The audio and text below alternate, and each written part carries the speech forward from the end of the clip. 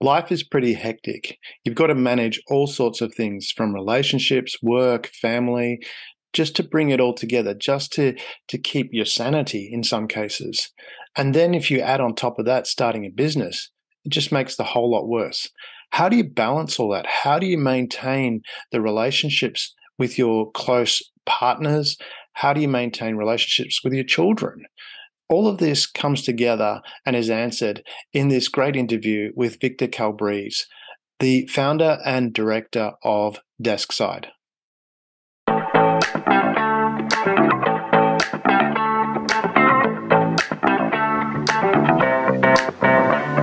Welcome to SHAIR.care, an all inclusive community sharing experience, strength, and hope to create strong, healthy, and inspiring relationships. SHAIR.care communities work toward every individual feeling safe, valued, and heard, free from the threat of danger, pain, or harm. Each episode, founder Damian Andrews explores the principles underpinning SHAIR.care and invites expert special guests to share their knowledge so you can easily reap the benefits so many others experience. You hold the choice to create your future. Let it be with strong, healthy, and inspiring relationships. Hello and welcome to the SHAIR.care podcast. Our belief is that global peace starts at home. Feeling safe, valued, and heard gives you a foundation to confidently step out and make the world a happier and safer place for everyone. Because in today's world, it's in your own selfish best interest to help others. And today it's my great pleasure to welcome Victor Calabrese. Victor is a technology and self improvement speaker and the author of Accessing Your True Potential Four Core Principles to Being the Best Version of You. He's a proven problem solver. He has an uncanny knack um, to be able to connect with people, and he helps you solve both business and personal challenges that are holding you back. Welcome, Victor. How are you, then? I'm very well, thank you. And yourself? You having a good start to the year? Yeah, fantastic start. It's actually the the end of the year business wise was uh, uh, was great, and it's just flown into 2023. So yeah, very blessed. Fantastic, great to hear. Well, to get to what you're doing and, and having that those blessings that you've got, do you want to take it back a little bit and tell us a bit about you know your background and what led you to do what you're doing now? Yeah, sure. I, I mean, uh, how far back do you want me to go? Well, what are the key drivers that that you know? Because I think for most people, we have these underlying principles that drive us, and that seems to come from some key points in our history, whether it was when we were young or or not. But usually, something that happened when we were younger shapes us a little bit, and then and then that molds over time. Yeah. So um, I I was born in Italy. I was born in Sicily, and at six years old, we came to the United States, um, and we were I mean, poor. In Italy, we were very well off, and then we came to the United States, and my father had to start over. Yeah. Uh, my father and my mother were both entrepreneurs um, since the very beginning, so I grew in an entrepreneurial household. Yeah. Um, and when I graduated college, the first thing I told my parents is, "There is no freaking way I am going to own my own business." Uh. I, have seen the ups and downs. I saw the struggles, and you know, for anybody that's an entrepreneur, know exactly. Even if you with the success that comes um, there is a lot of fighting in in, in the yeah. early on, beginning, right? So I, I, started working for people, and I was very very successful as an employee. Uh, I was a, a, chief informations officer for a construction company at 27 years old. Yeah. They were about 55 million dollars a year. So I, I, was very successful, but there was something inside of me uh, that that was not fulfilled. Uh, and at a certain point, I decided to start my own business and start my own journey. And since technology was in my blood, I decided to to start a technology company. Um, and and I've never been happier. Uh, I've been at it now for the last six years, and uh, uh, loving every second, even though it's one of the hardest things I've ever done in my life. Fantastic. Is that something when you talk about the starting of the business, and obviously, you know, it's hard to start. Is and from a business perspective, a lot of businesses um, as you're aware, don't don't last past five years or even make it to five years. Do you think that's partly because people underestimate what's required in in physical capital and emotional capital um, to to start a business, and and they they actually don't have enough. Yeah, I mean, the biggest part that I tell people, and and I I love helping um, young entrepreneurs and people that you know want to try to make it. And one of the things that I tell them um, when we have conversations early on is, do you have the grit? Because you, you, you can never allow a failure because there's going to be numerous failures along your path. Um, I, I don't care how much money you got or how how much um, experience or how good your product is. I've seen fantastic products fail. Yeah. Um, so it's one of those things where you have to have the grit and you have to have the willpower to make it through. Um, when I started my business, just to give everybody an idea, you know, I, am a father of five. I had a mortgage, you know, yeah. wife. I had the, the the whole package, right? So I had to still pay all my bills. Um, obviously, a lot harder to start at that point. When yeah. you're younger, it's a little easier, but it all comes down to grit. Do you have that entrepreneurial spirit to actually make it through the challenges that you were surely going to be faced by? And is that really when you're talking about this grit, and because and you mentioned about I want to come back to some of the motivations later, but while we're on this this grit topic um, and experience, because you started business, you obviously had you know five children. That's a lot to manage, and you know uh, your wife you've got to keep happy, and that can be a challenge at times too, as as we know. Um, and and you've got to earn income and, and provide that. I'm not sure the situation whether your wife was working at the same time, but I can imagine with five children, there's a lot to manage, and you know you you're either one person's going to be at home or you've got someone you're paying someone to help look after the children um, so i'm imagining it's one of those uh, i'm not sure which but yeah so so my wife wasn't working at the time we actually sold our house and yeah. that's how we got by in the early ons is, is like whatever equity we have in the house that's that's what we had and we came down to very close to the bottom of the barrel uh, mm. when everything started turning around um, my wife now is an entrepreneur as well, so so we own four businesses in total. So being being an overachiever, I didn't start one business; I started four at the same time. Um, but my wife started her business uh, just three years ago, um, and that one's going fantastic as well. So she was at home; she was taking care of the kids. Uh, you know, but uh, there was definitely the the financial was the biggest challenge, and the financial was the biggest excuse not to do that because again, I, I was providing a really good life for my family, right? Yeah. it's a big decisions to go from there to all of a sudden being out on your own. That's yeah, and I want to touch on that because it, that's a, really important that you've highlighted a, a really point, important point that you've highlighted there, in the sense of you know you've got a secure um, family life, good income, um, you've and then you've got things that you've got to provide for. You've got five children that you've you've got to look after, um, and I'm assuming they weren't at, of the age where they can look after themselves. They, they needed parents to look after them. And you're nodding for the people that are um, that are just listening and not watching. and what I want to understand is because this seems to be one of the key factors of success in a business, um, and it's something you know a, a quote that I I think I made up, but it was no amount of skill can fix a poor partner choice. Now, here you're in a situation where you're married, got five children to look after, and you're deciding, I'm going to start a business. We're going to sell our house and use that equity to start the business. How important was that relationship and the strength of the relationship to allow that to happen? And what did you do to to to nurture that strength during those tough times? Oh, yeah, that's a fantastic question. I, I, mean, without the support of my wife, there was no way I would have been successful, right? Um, mm-hmm. I not only needed her support, but I needed her to say it was okay. So I, am the risk taker, uh, risk taker in, in the relationship. My wife is very, very cool headed. She just requires a lot of information, slow decisions, and I'm like, let's go.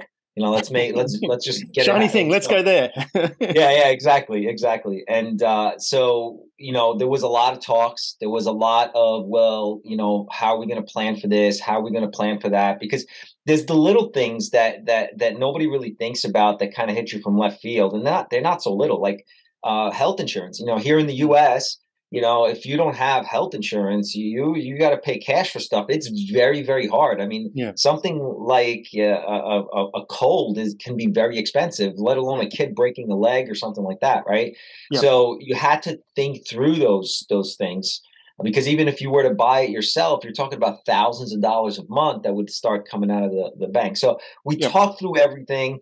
Um, luckily, I had enough experience to actually put a real business plan together and actually put numbers on paper that I could show her and say this is how it's going to uh, work out. A lot of times when you when you first start when you don't don't have the experience that I have, you put things on paper that aren't really real yeah. Um, and you give yourself like a, a false sense of, oh, I just need three months and I'm going to be fine. I'm going to be making half a million dollars a year in three months, right?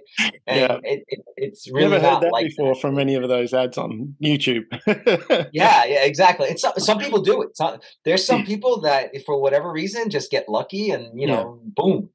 Yeah, there are those stories. That's true. But from your perspective, yeah. when you're, you're talking about, because you mentioned, you know, you've sold your house use the equity for the house. So, and that's that's move, you know, that's coming down. And then you said it almost got to the bottom, if I heard you correctly. Yeah, it was scary. Talk, talk through that experience again from a relationship perspective with your wife. What mm. started going on when you're starting to get to the bottom? I mean, we've all heard the story of, you know, of Elon Musk talking about how you know he he threw the last dollars that he had, sixty million, into yep. Tesla. Um, but you know and and but from your perspective it's a little bit different and and i would say from a lot of people's perspective who would relate to what you're doing it's like well you know how do you manage that? How yes you've put together this wonderful business plan that you know and it's got a lot of foundation to it and a lot of strength to it but all of a sudden sudden you've got to be starting to question you know am i doing the right thing here? And and how did you talk through that with your wife yeah, it was it was it was rough, man. Uh, it, there was uh, there was a point where my wife and I had a really tough conversation. You know, my wife's originally from Argentina, mm. and one of the conversations we were having is, you know, her going back to her country with the kids until I got myself up and running because it really got to that point. Yeah. Um, and I remember I, am part of a, a Vistage group, uh, um, which is a group of uh, professionals we meet once a month.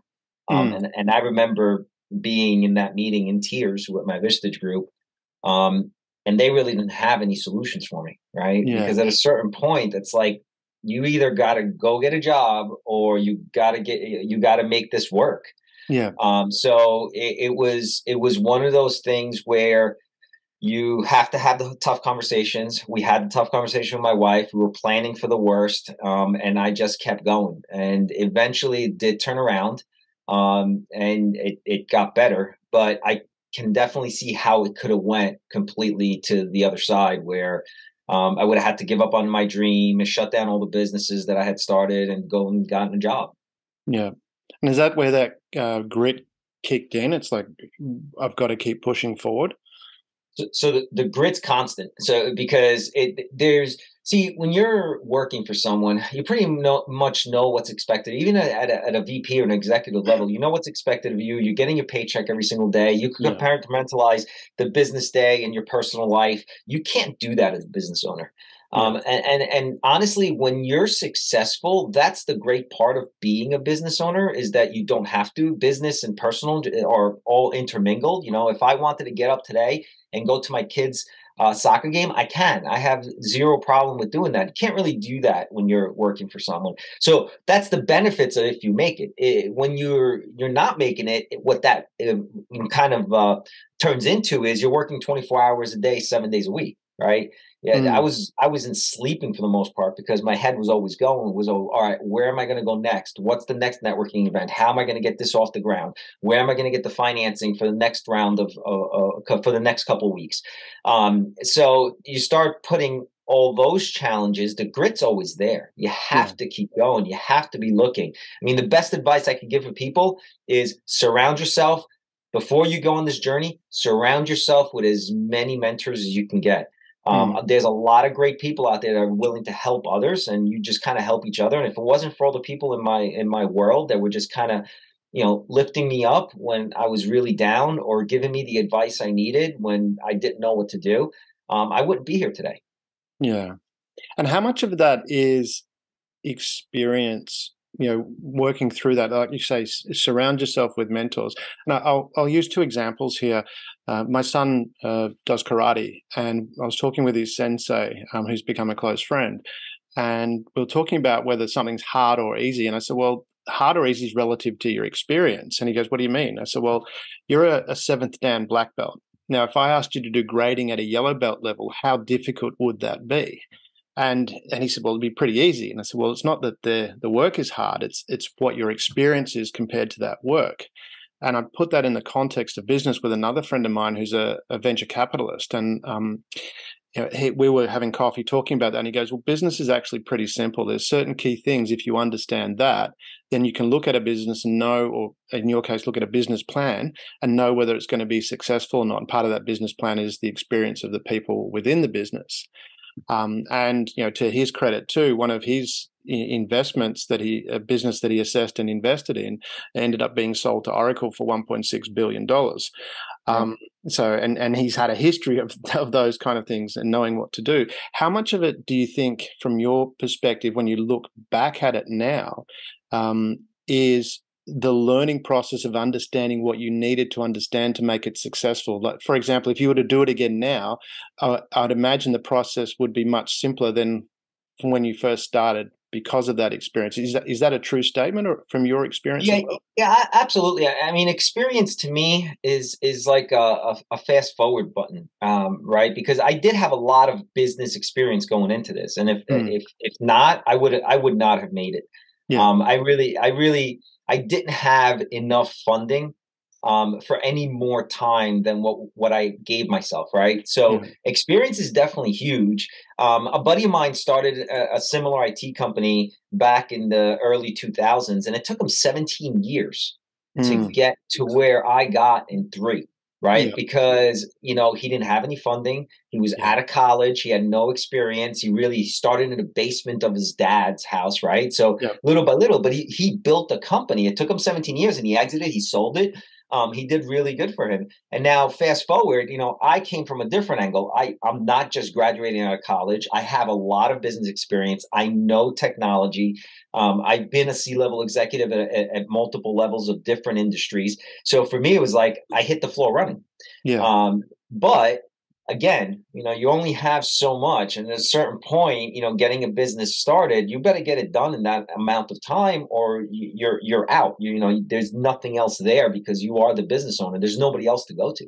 Yeah. So how do you, with that, with no one else to go to, and, and you say you've got to hit the ground, hit the ground running. But yeah. how do you make that assessment? How do you know what you need to know to decide? Okay, I need to do this. I'm thinking of um, if I'm going to be truthful here and, and say that I'm actually a huge NASCAR fan, so I'm a bit of a, a redneck. Um, okay. but I remember watching um, a documentary on Richard Petty, and he was talking about his dad. Um, when he wanted to race, his dad said, "No, you, you need to get more experience before you get out. You'll do so much more. You'll get you you need more learning before you actually get out there and race." And he was just wanting to get out there and race. But you know, now we look back in history, the, what his dad taught him actually helped him become, you know, obviously the most successful NASCAR driver in history. How much of that is, you know, from your own self discipline when thinking about going into business, going, doing a proper self self assessment and saying, well, maybe I need to gain a little bit more experience before throwing all my capital and equity at this.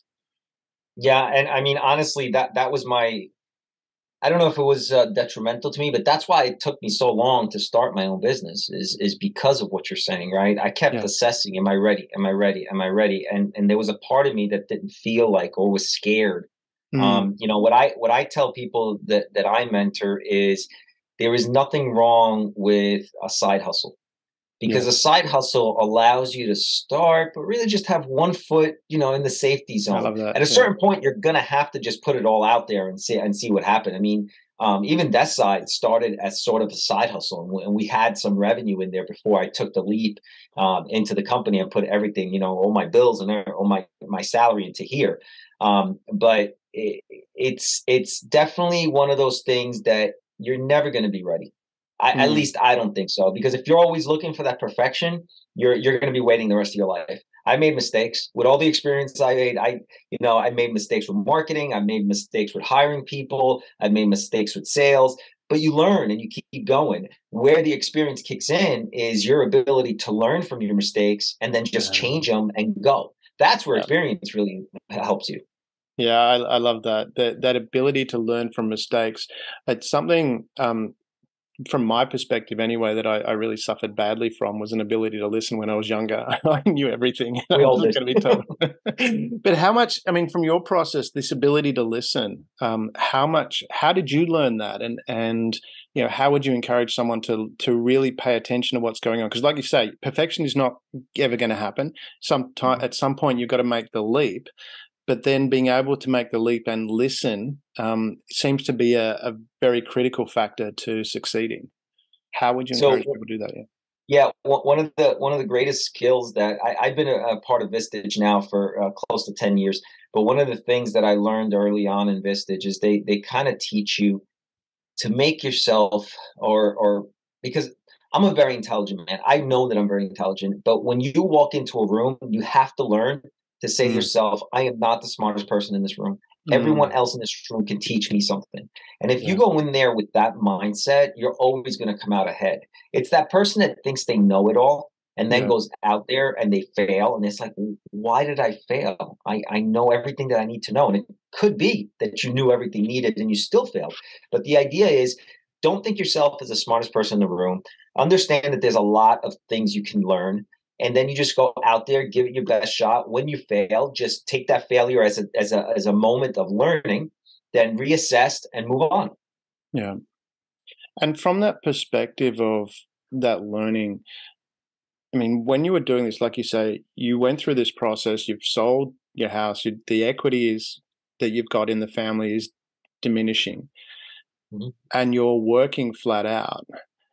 Can you describe for me the time management particularly with your family and your kids. You've got five kids, so that's that's a lot mm-hmm. of you know effort to to spend time with all of them and to have that quality time. And you know, as you say, it took three years to get this up and running, if if I understood that correctly.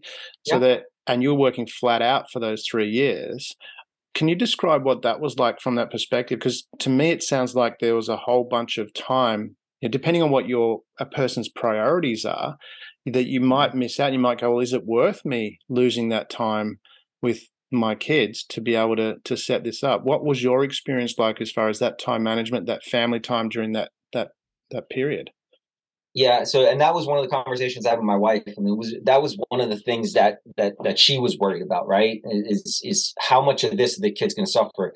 And one of the things that she made me promise is that no matter what happens in the business uh, during this time, we both agreed that we have to do everything in our power to shelter the kids. Yeah. Um, so whatever that was, they had Christmas, they had their birthdays, they had their birthday parties, like all that stuff never stopped. So we did go from owning a house to renting a home, mm. uh, but it was still a similar size house, right? So we sheltered the kids as best we could. The time that was uh, uh, earmarked for family, it was earmarked for family, and we made sure that that I was there, I was part of it. Um, where end up suffering is anything that was, you know, my personal life in the sense of, you know, hobbies or activities that I used to be able to do. Um, they just went out the out the window, right? There was a point where I was able to go to the gym every day, and now I wasn't able to go to the gym as much anymore, right? I wasn't able to take care of myself as much, so that stuff sort of suffered. I still found a way to kind of hold it all together um, mm. because it's also important for an entrepreneur to understand that, that you have to take care of yourself. Because yeah. if you don't, um, you're definitely going to fail. There, there is not a doubt in my mind because the grind is too hard, and if you can't take care of your mental, your heart, your physical, you will not make it. Yeah. How did you do that? I mean, well, actually, before we get to that, I want to again stay on the the kid um, thing for a minute because with children, I mean, it sounds like you planned that very well with your wife and made sure, okay, birthdays, Christmases, these key events. But what about other things like you know school plays, those kind of things, um, and then just having that daily? Because I would imagine that you're working um, flat out, and the kids are young; that they, they will be going to bed before you actually get home. Um, that because that happens quite a lot. Was if that's not your circumstance, correct me. But um, if so, I was lucky because so I was lucky because I, I, I did start Deskside. You know, I when I started Deskside, I did have a, a revolution in mind. Like I, there was things that I wanted to change about the company. And one of the things that I I did do was I wanted a full remote workforce. So I've got people working all over the United States. Yeah. Um, I do have offices, Um, but they're not offices where I force everybody to come into the office, and that includes myself. I like coming to the office now. At the yeah. time, we couldn't afford an office, so I was working from home. Um, so that does make it a little easier because you did not have to go somewhere. So when the kids came home from school, I was there. Um, we had dinner together every night as a family. Um, you know, the plays and stuff it, it, there was times that I had to miss things. You know, if I was at a, a client meeting or if I was at a networking event, um, you know, I would miss it. Luckily, my wife was there to pick up those pieces. Uh, but we were able to do almost everything as as a family. You know, that's one of the things we fought really hard to make sure that you know we didn't give up. Um, and being your own boss, it's it's a little easier actually to do that because I can go somewhere at three o'clock, you know, till five and then mm. come back and work from six to eight, six to 10, or whatever it takes, you know, to get the stuff done. Yeah. How did that, from that perspective, and because I want to touch on that with the, the kids as well, because I'm talking like thinking about my own experience with that.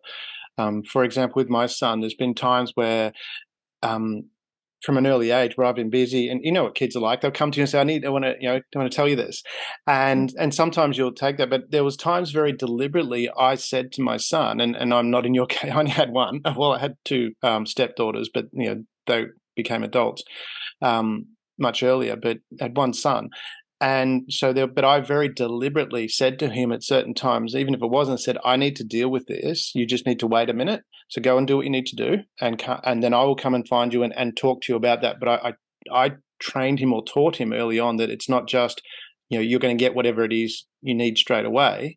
We need to balance this between the both of us. And that you know, had an impact, a, a, great impact from our relationship perspective. He, he's 14 now, and and we balance things very, very nicely and have a good respect for each other. How did you, you know, deal with those situations where you couldn't be there for events? Because I did that similar sort of thing where I couldn't be there. It's like I love you very much. I've got something on. I can't be there, um, but I'll be thinking about you, and and just let him know that I that I loved him. And it wasn't a case of you know he felt um, it was about making him feel loved regardless of whether I was there or not.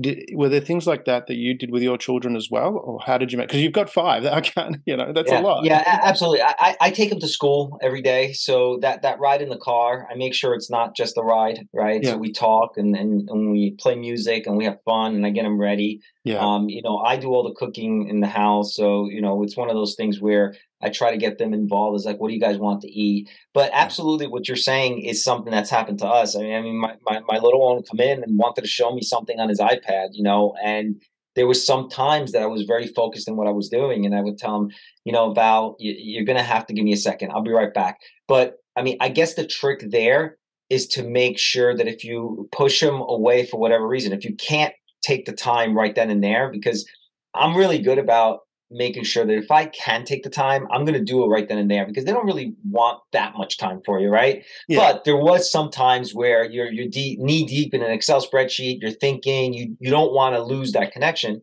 Um, as long as you go back to them, I think they're very receptive. I mean, it's a nice life lesson to teach them as well because you know life's not always going to be available to you when you want it to be. Yeah. Uh, so so if you teach them that early on, they'll be okay. You know, the one thing that you don't want to do is is is push them away with you know anger or with yeah, yeah, I can't talk to you right now. Just just be just be more uh, aware that you don't want to hurt their feelings. And as long as you do that, I mean, my kids were fine. I mean, they they understood that daddy was busy or we're doing something, and then we just get to back together later on.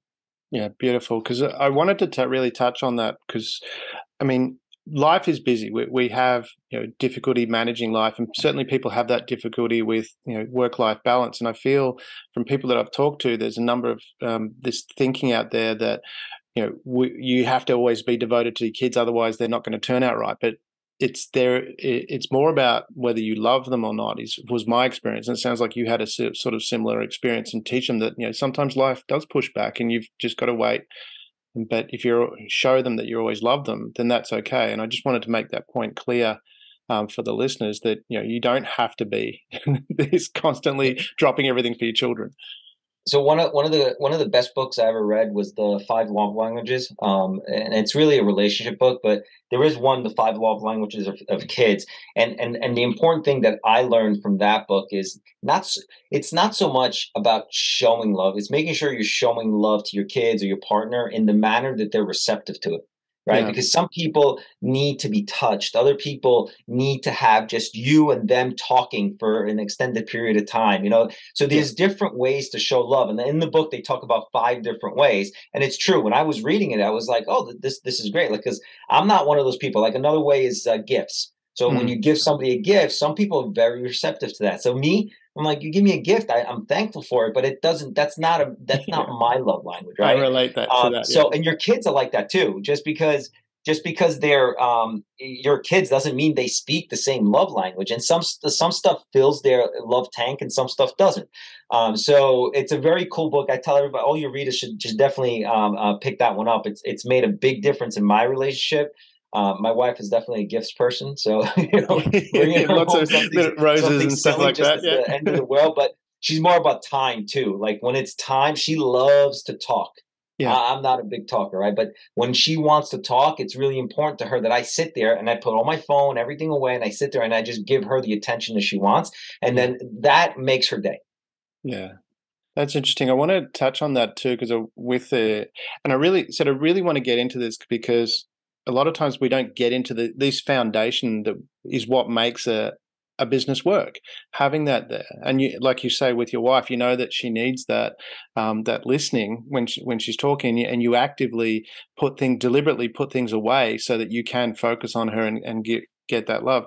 What about you know from the perspective of balance as well? I mean, you're going through this very busy period of setting up your life, uh, setting up your business, I should say, and then you know how do you have that time to maintain that romance? I mean, there's two key areas where divorce comes about. It's like after the first kid the, the first child comes because the whole dynamic of relationship changes and all of a sudden people don't make the right adjustments. Similar when you're starting a business it is kind of like having a child. You're so yeah. you know the whole dynamic of your life has suddenly changed. Before you had time to go out on you know regular dates and and and, and you can fill that love bank as they talk about in in the the five languages of love books um, how did you find that time? Same thing with your your wife to actually maintain that romance so that you know it, it didn't your relationship didn't fall apart.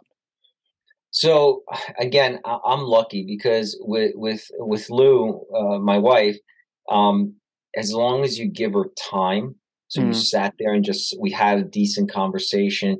She doesn't have to have the fancy dinner. She doesn't have to have the vacation. She likes it. No, mm. you know, she's just like every other person out there. She'd love to have those things. Um, but her thing is really about just spending quality time together. Um, so it's a little easier. Um, and the same way that that I found the time for the kids, I had to make time for her. Mm-hmm. Um, so you know, th- there was something that I learned early on when I when I was in, in college that one of my college professors told me is like in life you could you can categorize life into three buckets. It's going to be finances, your health, and your relationships and you can only take care of two out of three things at any given time. Right. So one of them is going to suffer. And it's going back to what you're saying, because if you're dedicated to your health and your finances and you're 100%, all your energy is going that, that relationship is going to go to crap. Um, yeah. And there's nothing you could do about it. So the trick and what he uh, had then came out and told us is you can never give 100% of your energy to any one thing. You mm. have to mm. always be cognizant of the fact that there's going to be things that you're going to have to a little bit here, a little bit here, a little bit here. Does that make everything move a little slower? Absolutely. You know, because if you give 100% energy, let's say to your finances, that that financial part of your life is going to get great. And most people, there's a lot of people that do that, but then mm. every other piece of their life is is going to go bad. So the trick is a little bit, a little bit, a little bit, come back to the first. A little bit, a little bit, a little bit, come back to the first. I guess that also depends on what your objective is as well. Then there's some people out there that just just go hard and they love that that work, and as you say, that they they're focusing on the maybe it's the money, but the achievement within whatever it is profession that they do. And there's people that just really drive for that, and and they um, they probably take care of their health very well, from and the, the, the, style I'm talking because they have to, otherwise they can't continue to drive that way. But you notice that they're constantly having, you know, right. relationship issues. Um, that's right. But that's their objective. They're, they're quite happy with that. But from your perspective, it depends. You know, you, for you, the the family was really important as well. So even though you say that you're going a little bit slower, but what you're managing there was a holistic life and a long term view. It sounds like. Does that is that sum that up, or and how did yeah, you? Yeah, absolutely. I mean, and, and, again, it goes back to experience, right? Mm. younger, I would I would definitely have put all my time into finance, take care of myself a little bit, but it would have been more about pushing, pushing, pushing, pushing. Um, you know, move forward in life. Now I realize that you have to have some sort of balance because um, it, it, it's it's a it's a it's a long life, and if you don't use time to your advantage, you're really being foolish. Yeah. Well, from that, using that time to the advantage, what about because you you're talking about you know you've got life, health, and relationships. Sorry, mm-hmm. just you know writing that down, and you're balancing it between the two. Now, like you were saying, using time to your advantage. Now you know from from understanding your wife that she needs to um, have that listening time and you know if you were to do something else you wouldn't get you know, to quote a phrase as much bang for your buck so to mm-hmm. speak. So you might do these things that are not as you know that you think are, are, are, good but it's a lot of effort but it's not getting the result. Whereas you know i need to give my wife this time and that's going to result in a, a big return on the other areas that you need to focus on. How important was recognizing that and how do you go about recognizing what are the efficient things to give you the results that you need to get it's it's tough. It's a tough question because you know life's going to throw uh, throw you a bunch of curveballs and going to throw a bunch of stuff at you. You, you got to just take it one at a time. Um, the, the biggest lesson, you know, to answer your your question, Damon, is, is really keep the emotions out of it and try to be very logical. Uh, at least that's the way I look at it. Wow. So when when I when I realize, like, I could not have done what I did without the support of my wife, and if I did not feed my wife what she needed, she would not be able to support me in what I needed. So it yeah. all kind of makes sense if you start looking at it from a holistic uh, uh, um, system of, of items, right? So when something gets thrown at me, whether it's children or it's the house or it's the business or it's the wife, I look at it as like, okay, well, we have to keep all this stuff go, moving forward. And mm how do you do that is, you know, just make sure you give it a little bit of attention, a little bit of attention, and just keep going forward. Yeah, great. I, I, I love that. Um, because and I know I spent a bit of time focusing on this, but uh, I really believe that it's fundamental if you're going to succeed. Unless you're one of those drivers that is not really interested in a relationship, um, mm. then you know having that time to nurture that relationship because the downside of that as as a number of people have experienced um, and it's, it's quoted as being one of the greatest destroyers of wealth is divorce and not mm-hmm. only is it a destroyer of wealth it's a destroyer of your you know many emotions that you have to deal with and it creates a very difficult time but if you plan very well for this not only will you have a thriving business but you'll have a thriving family as well, which is, uh, uh, if that's what you want, it's it's a nice way to do that. Coming back to the business side of things, when setting up the business, and and you had a lot of experience with business plans, what were some of the key things that you needed to make sure were in that business plan? When you look at, you know, if you go, well, these are predictors of success. Um, what are what are some of the? I mean, yes, the, you get the common ones. Yes, you got to do a cash flow, that kind of thing. But what what are the fundamentals within a business plan that you think are really important to to have that planned out before you actually pull the trigger? Uh, the biggest thing is just be extremely pessimistic. I think that too many people are way too optimistic when it comes to putting a business plan together, um, and, and they get super excited. They get they get wrapped up in the emotions and I have seen so many business plans in my life, and it's always the same thing. It's like sales are never going to be what you think they're going to be. um, so be super pessimistic, and it's not. You know, I don't want you. I don't want. I don't want the people to take it as as because I'm very optimistic. I'm a very optimistic person. Yeah. Um, but you have to downplay that because if you um, go down and say this is the bare minimum, I know I can achieve this, and the business works with their bare minimum, you know, everything on top of that will be gravy. Yeah. But if you go in there and make your bare minimum so high, and you say, "I'm going to be a millionaire in uh, you know the the next 12 months," mm. chances are that that you're not going to achieve that. And and it's very easy to do to do that.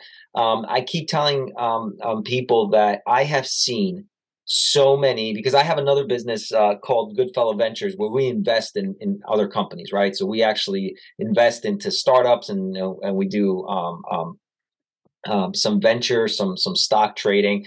But I've seen so great ideas, hmm. fantastic ideas that we've invested in, and they just didn't make it. Whether hmm. that's because of the leadership or uh, the marketing wasn't done right or whatever the, the, the reason, they just didn't make it. And they were fantastic ideas.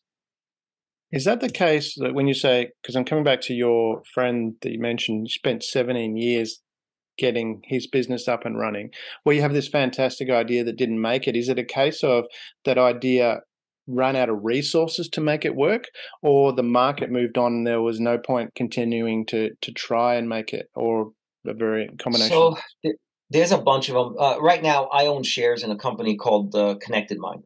It is a friggin' amazing company. Um, the the the gentleman, the CEO that developed it, actually developed an app where you give uh, the you, you sit in a doctor's office. The doctor gives you a tablet, and the, the patient takes a test, and it has like this cascading logic of questions. So if you depending on how you answer these questions, it'll give you a different question. But pretty much what that that test does is test for six of the most common mental health issues that mm-hmm. affect physical medicine, right? Mm-hmm. Depression, mm-hmm. anxiety, somatic symptom disorder. And it'll actually give the doctor a, a, a, result showing them that this person actually has depression and mm-hmm. that's why they're feeling something, right? Mm-hmm. Um, and it's a fantastic idea it just it's been taking him a really long time to get off the ground and just get it to the point. And when we first had laid out the business plan it was like you know we're going to the moon in three years. And it just hasn't happened that way. And and it's something that we have saved over 2,000 people from committing suicide because there's a flag on there. It tells the doctor this person is most likely going to commit suicide. Get them some help. Wow. Um, and it's it's a fantastic product, but it just hasn't gotten the motion. Is it because it doesn't have enough money and enough marketing? Maybe. Is it because we're not reaching the right people? Maybe. Is it because the climate wasn't ready for it and now it's starting to turn around? Maybe.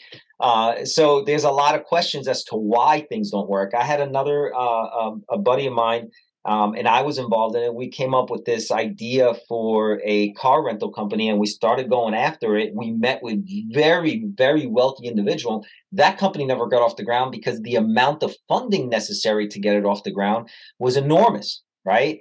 Um, so, in order to get people to buy into a startup and give you that kind of capital was hard. So that one didn't get off the ground for that reason. So there's a multitude of reasons why companies uh, can't make it. Um, but there there's plenty of great ideas out there that just don't make it. Coming, yeah, coming back to that perspective of pessimism and um, the bare minimum you need, because I, I know that from a number of people that I've spoken to that have successful businesses like yourself, and they started with that attitude. They said, "Okay, what is my bare minimum that I need to live?" and how long can I last with that? And it's it's a similar approach that I've taken um, well, a long time ago. I don't put myself in that position now. Uh, I'll get to that in a minute. But they they they when they were putting everything on the line like you did, you're selling your house. You're going, okay, what is the bare minimum I, I need, and how long can that last? Um, and then what's an option if I need to to take it further um, and need further resources? Is that like taking that pessimistic attitude? Is that something someone should go through? And how would you go through that process? How do you be realistic when you've got because I, I, agree with you. You're saying you want to be an optimist but there's a difference between optimism and optimism bias. Um, how do you tell the difference and how do you plan for that? So um, I, I, so one of the things I measure everything. So you know, early on in my career, and I'm I'm, I'm what's called an integrator. So um, I'm the type of person that uh, a, a, person that could dream of stuff or a visionary like a CEO should be. Hmm. Um, comes up with these great ideas. They give it to someone like me, and I make those ideas come to fruition. The way I make those ideas come to fruition, and the way I know what actually will make something work as compared how to be a, a realistic pessimist um, is to measure everything. Um, so I have scorecards within all the organizations, and I consistently measure, see where I'm at, see if I'm meeting those goals, see if I and I don't wait till the end of the year because that's mm. one of the biggest mistakes people do. They'll they'll put this business plan, go to a bank, get some funding, get started, and then stop measuring. They're so yeah. busy in the tactical operations of the business that they stop measuring what they're doing until there's no money left in the account. And it's like, oh, yeah. oh, what happened? So you know, the, the, that's that's what I tell everybody. That's what I'm trying to teach my wife now because we're getting to the point with with her company where we have to scale it. Um, and you know, I could easily scale her company, but I don't want to do it. I want her to do it, right? Yeah. So what you have to do is teach her she starts to learn how to measure these things. She's starting to learn how to read the P&L and a balance sheet and start putting all these things together. Start looking at the right metrics for for the for that for that company so that when we do open up that second office, now she's able to say, "Hey, this is what made me successful here. I just need to reproduce that at the other at the other company, at the other office, and then we'll have success again and then we do it again and we do office number three and then office number four and we just keep growing the company that way. So my my my answer to your question is really about measuring. Make sure that the business plan or whatever you put together to start the business isn't the last time you're measuring your success. You have to measure it consistently on a regular basis. So you have to make measuring a habit as to what you do going absolutely. all the way through just constantly measuring. Yeah. And uh, with that, on the habit side of things as well, when we look at our own personal habits, and I, I wonder about this. Um, and I had uh, one of my mentors was the um, the managing director and and um, chairman of the board of BP, and he always talked about, you know, are you being realistic in the sense of what you're expecting from sales? And you mentioned that before, this optimism bias of expecting more, and are we misunderstanding what it is required? Because we assume people are just going to suddenly jump on board and they go, oh, this is amazing product. And, and but people are creatures of habit. So they, they don't just go, well, here's this amazing thing and jump on board, especially when they've got to fork out money. How do we correctly interpret and, and understand this that people are creatures of habit and it's going to take time to actually change those habits and we need to tap into a way of, of doing that well, failure will do that for you. That's your best teacher, right?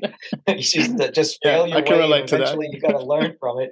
Um, I've seen that be a great teacher, especially even for myself. You know, yeah. I, I, put something on paper. Oops, didn't make that one. Right. Yeah. And next month, I'll be sure to make it a little less because it's I, I couldn't hit it. Yeah. Um. So yeah, I think failure will do that. You know, when I'm talking to other people, because the reality of it is this, Damon. I, I mean, to be completely honest with you, anything you put on paper is a guess. Hmm. I don't. I don't care what business you put together. I don't care if you yeah. are trying to be pessimistic, optimistic. At the end of the day, it's a guess. Yeah. And that's where again going back to your experience if you have some experience your guests tend to be a little better than if you don't have any experience mm. if you're in a market where you've had experience your guesses are going to be a lot better than if you've never had experience right yeah. um, you know with this it company for instance I, have been in it for the better part of 25 years 20 years so for me it's it's easy to say this is how much i'm going to close every single month and this is how big those closes are going to be um, because I've been there. I've seen a successful company that we ended up selling actually do those things. So I can't put on paper anything more than an established business that I was part of can do, right? So I have a ceiling, right? Yeah. So if we were selling uh, one deal a month, then I'm not going to put two deals a month in my business plan. It just makes no sense for you to be able to do that. Yeah. So I, I, think a little bit of experience, failing absolutely does it. But that's why it's so important to measure on a really short, especially when you get started. Like mm. I measure now on a monthly basis. Yeah. Uh, when I first started, it was weekly. Every Friday, I would sit there and there was key indexes within the company that I was looking at. And it's not only on the sales side, it's also on the spend side, right? How are your bills? How's your money? How's your cash flow? Are you are you overspending in certain areas and, and you cutting it back? Um, so you know, that's what I would say to people that are starting their business and it's like measure daily you know even daily if you have to when you're started because if you have zero experience in that thing and you really don't know what you're getting then you bring your numbers all the way back down to a day yeah. What are the, some of those key indexes that you measure and go? Because you mentioned it's not just sales. Eh, I had that with one of my clients. They're a large, very large company, and they were aiming for they were you know several hundred million dollar turnover. They wanted to get a billion. That was their goal. And. I said to them as part of the, this process with the, the senior management, I said, "Well, what about the profit?" And they and they kind of heard but didn't really hear. And no, it, it, became this glossy thing. Oh, sales! We're going to get a million dollars in sales, and, and that became the focus. And I, and as as much as I tried to tell them, it was just like you know, and yeah, they did. They hit the million dollars in a um in the time period, um, but they made a loss because a lot of the projects that they took on weren't profitable. Um, they just took every every project to because that became the focus for everyone. Obviously, a big company, everyone's focus is million dollars, million dollars. So they were just writing, you know, whatever projects to get that project in, and not thinking about the other end. So when you're talking about these key metrics, what are you know some of the key ones? You know, our sales is obviously one, but even within sales, it must be a you know, quantity of sales or value of sales. As in, when I say value, I'm talking about the quality of the sale. Um, and then, what other aspects would you suggest are, are key things that people could focus on as far as metrics? So the answer to that is that your scorecards for your business, which you should have multiple, have a mm-hmm. cascading effect. So as a business owner, there's three things you're always looking at. There's going to be your revenue, your gross margin, and your and your net profit. Those three numbers are the the the golden keys, right? Yeah. Within those three numbers, then you have your department numbers and you have your individual scorecards for each of the people because it's very important that you're driving people to to your point mm. with the numbers that are going to make sense for their specific job, right? Yeah. Like someone in customer service you know, has different numbers than a person in sales, has a different number a person in IT. And you have to know all those individual numbers, especially as you grow. And when you're talking about 100 million, a billion dollar company, you definitely have a lot of scorecards that that flow up. But mm. to me, those three numbers are the biggest, right? So I always start as a new business, you got to have an, an eye on sales, you got to have an eye on your gross margin, and you got to have an eye on your net profit um, and that'll help you. It's actually funny the story you were saying because I, I, I, had someone um, back about four or five years ago that had a business and they ended up losing one of their biggest clients. Yeah. Um, and I think it, it, resulted in like a 25 or 30% um, hit to their top line revenue, right? Yeah. So they came in to the group. It was one of one of my business members. They came into the group and they were they were frantic. It's like, how am I going to overcome this? How am I overcome this? And then when we dissected that story, or when we dissected that, the 30%, and we said, okay, well, that 30% is costing you how much? And then mm what are the expenses on that? And when we came down to it, the, the, the 30% in revenue was only affecting like 10, excuse me, 10% of her net profit.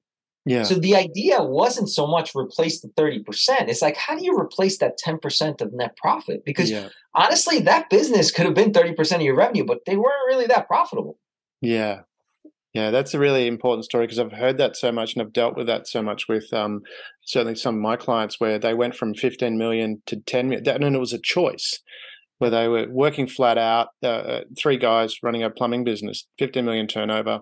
Um, and they made a choice that they were going to get rid of the crap clients that they had, yep. and and that resulted in their turnover dropping by a third. Um, but their profitability went up, and they went from working seven days to working five days. Um, so they had more money at the end of the bank. So that's, I think, where you're saying the, the numbers to pay attention is not just sales, but your gross margin and your profit is really important. But would you, do you break that down into like the different customers as to how profitable each customer is as well? Yeah, I've done it before. I, you know, in my, in the IT business, we definitely do that. Um, yeah. So we actually know how profitable each customer is. Every time I do an acquisition, um, that's the first metric. Once I actually acquire the company, I'll go mm. through the books and I'll say by customer and then exactly like you said, is like, oh, this guy's not profitable. We send them a letter. It's like, here's your increase. Um, if you don't like it, this is our 30 day notice, right? Yeah. So we're a little more eloquent to it, but that's pretty much the idea. You you take all these low uh, hanging fruits of people that are losing you money, you take them off the books. That business becomes profitable all of a sudden, right? And yeah. then you absorb it into your company. Um, but like my wife's business, you can't do that because she's more of a B2C. Uh, yeah. So seeing one client to the other. So the way we we break up her stuff is different revenue streams. So she's got a couple categories of different things, different services that she offers. Which one's more profitable? And mm. based on which one is more profitable, that's who gets more marketing dollars, right? So yeah. there's there's a bunch of stuff like that that we do. Yeah, and from that perspective too, is it a case where you look at because profit is one thing, and that seems to be well, not sorry, profit. Sales is one thing where, and that seems to be the glossy thing that we look at, and of course, it's always important to generate new sales. But every dollar you save at the bottom line um, it, well, every dollar you save on expenses actually goes straight to your bottom line. So that increases your profit immediately, whereas increasing your sales still has the expenses to come off. So it's not the same ratio.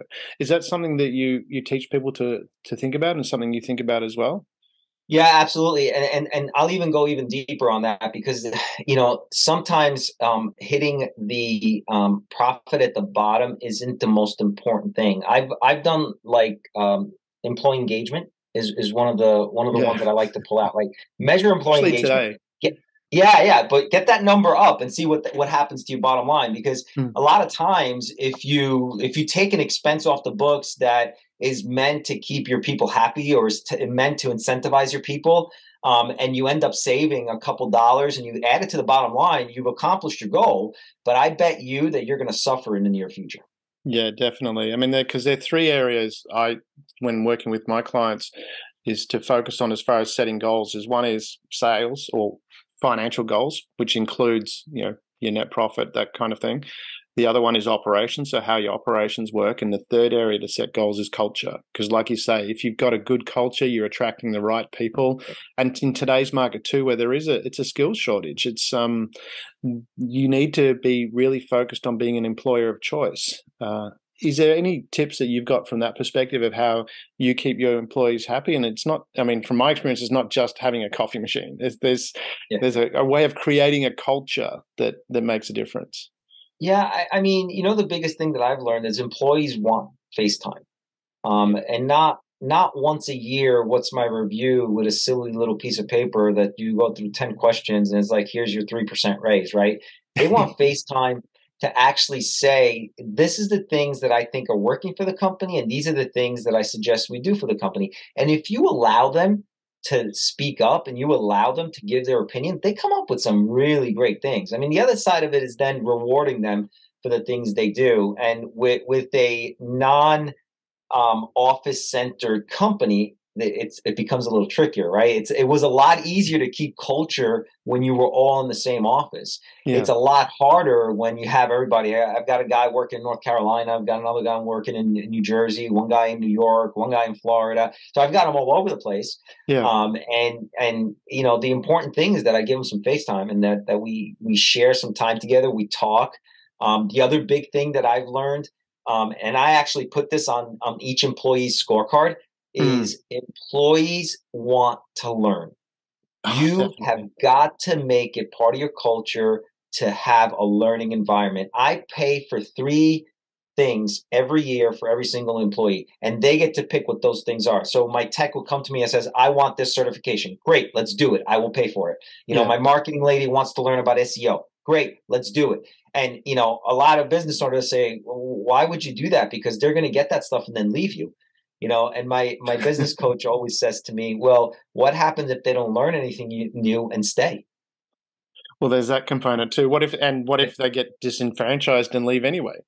That's right that's right. So i'm a big proponent in education and and you know that that's also you know in my book you'll see that there's there's a there's a wheel called continuous learning. But i bring that not only to you my personal life but also to my employees especially with this generation which has been used to Google and information being at their fingertips. They are dying to learn new things, and you just have yeah. to make that easy for them. It's interesting what you're saying about that, um, giving them FaceTime, and it's not about once a year. It's that that constant FaceTime, um, or maybe constant's not the right word, but regular FaceTime might be yeah, regular.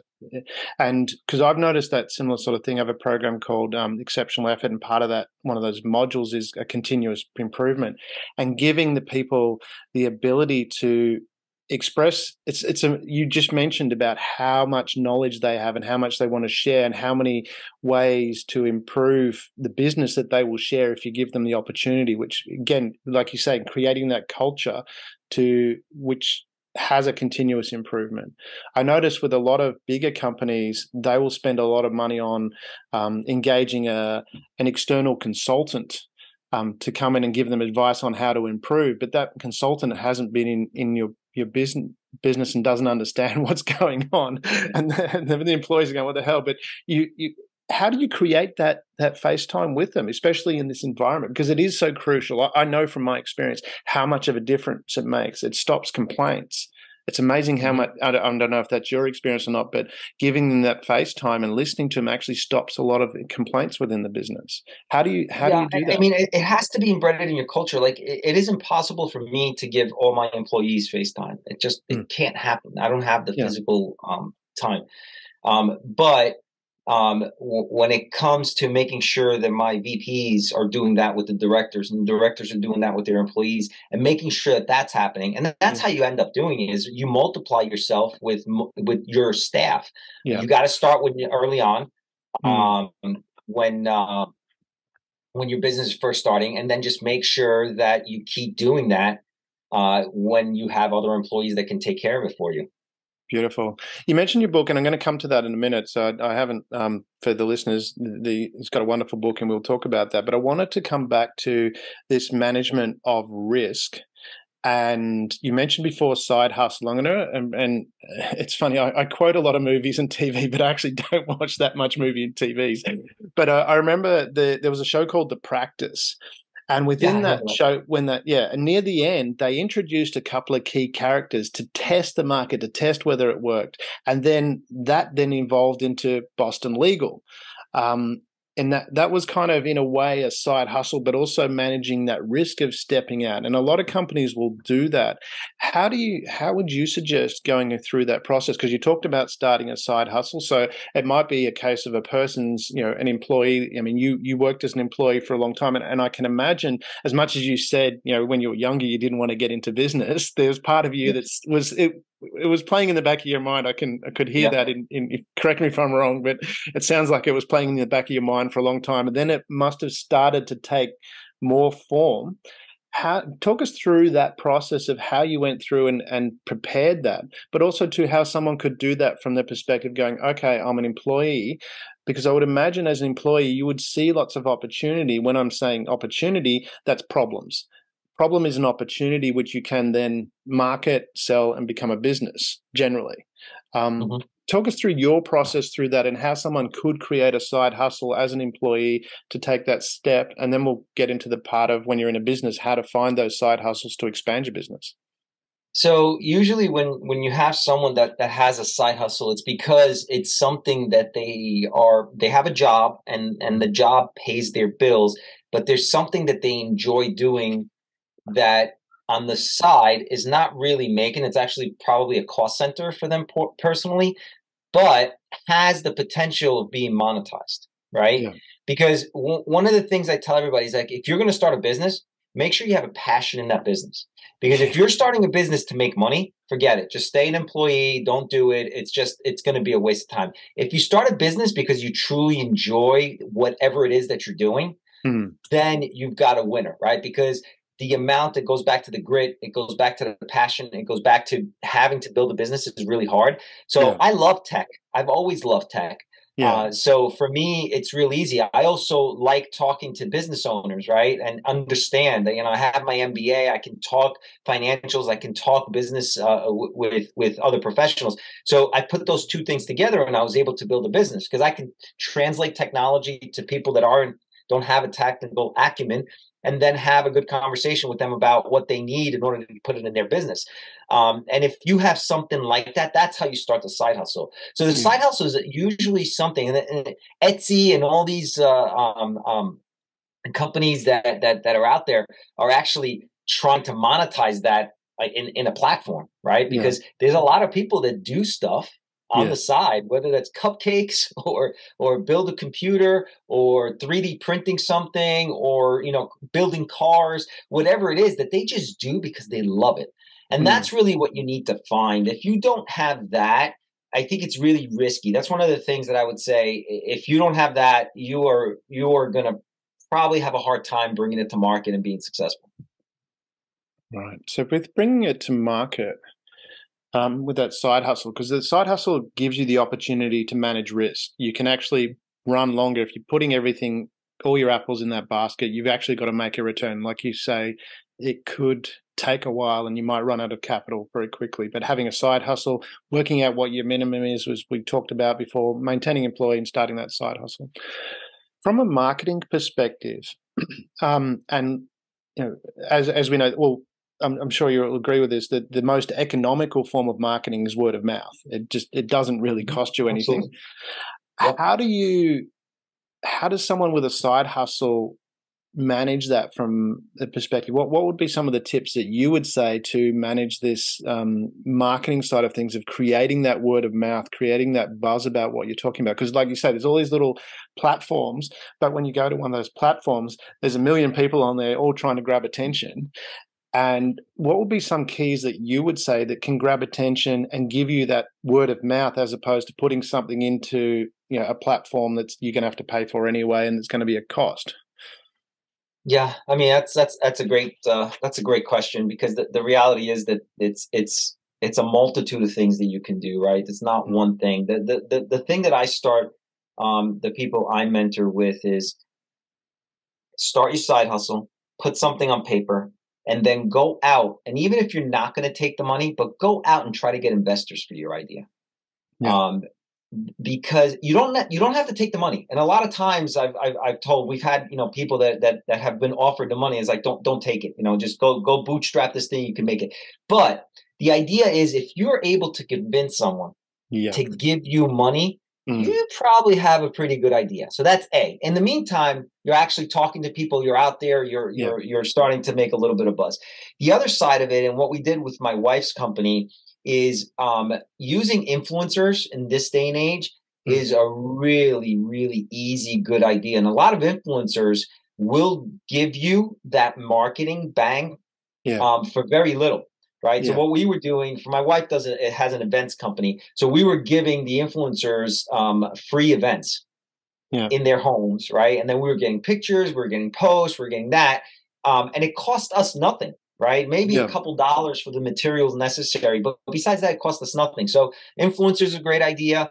Um, having a fantastic website, that's definitely something that you need to have. This day and age, without a website, you're pretty much dead. Yeah. Um, even if uh, I see so many people go out there on social media and they have the social media page, and it's like there's no website on the other side of it. It's like, man, I, I, get it that you have no money, but that website's so important, right? Yeah. Because without that, you don't have a real digital footprint. You could have a Facebook page, but that that's not the same.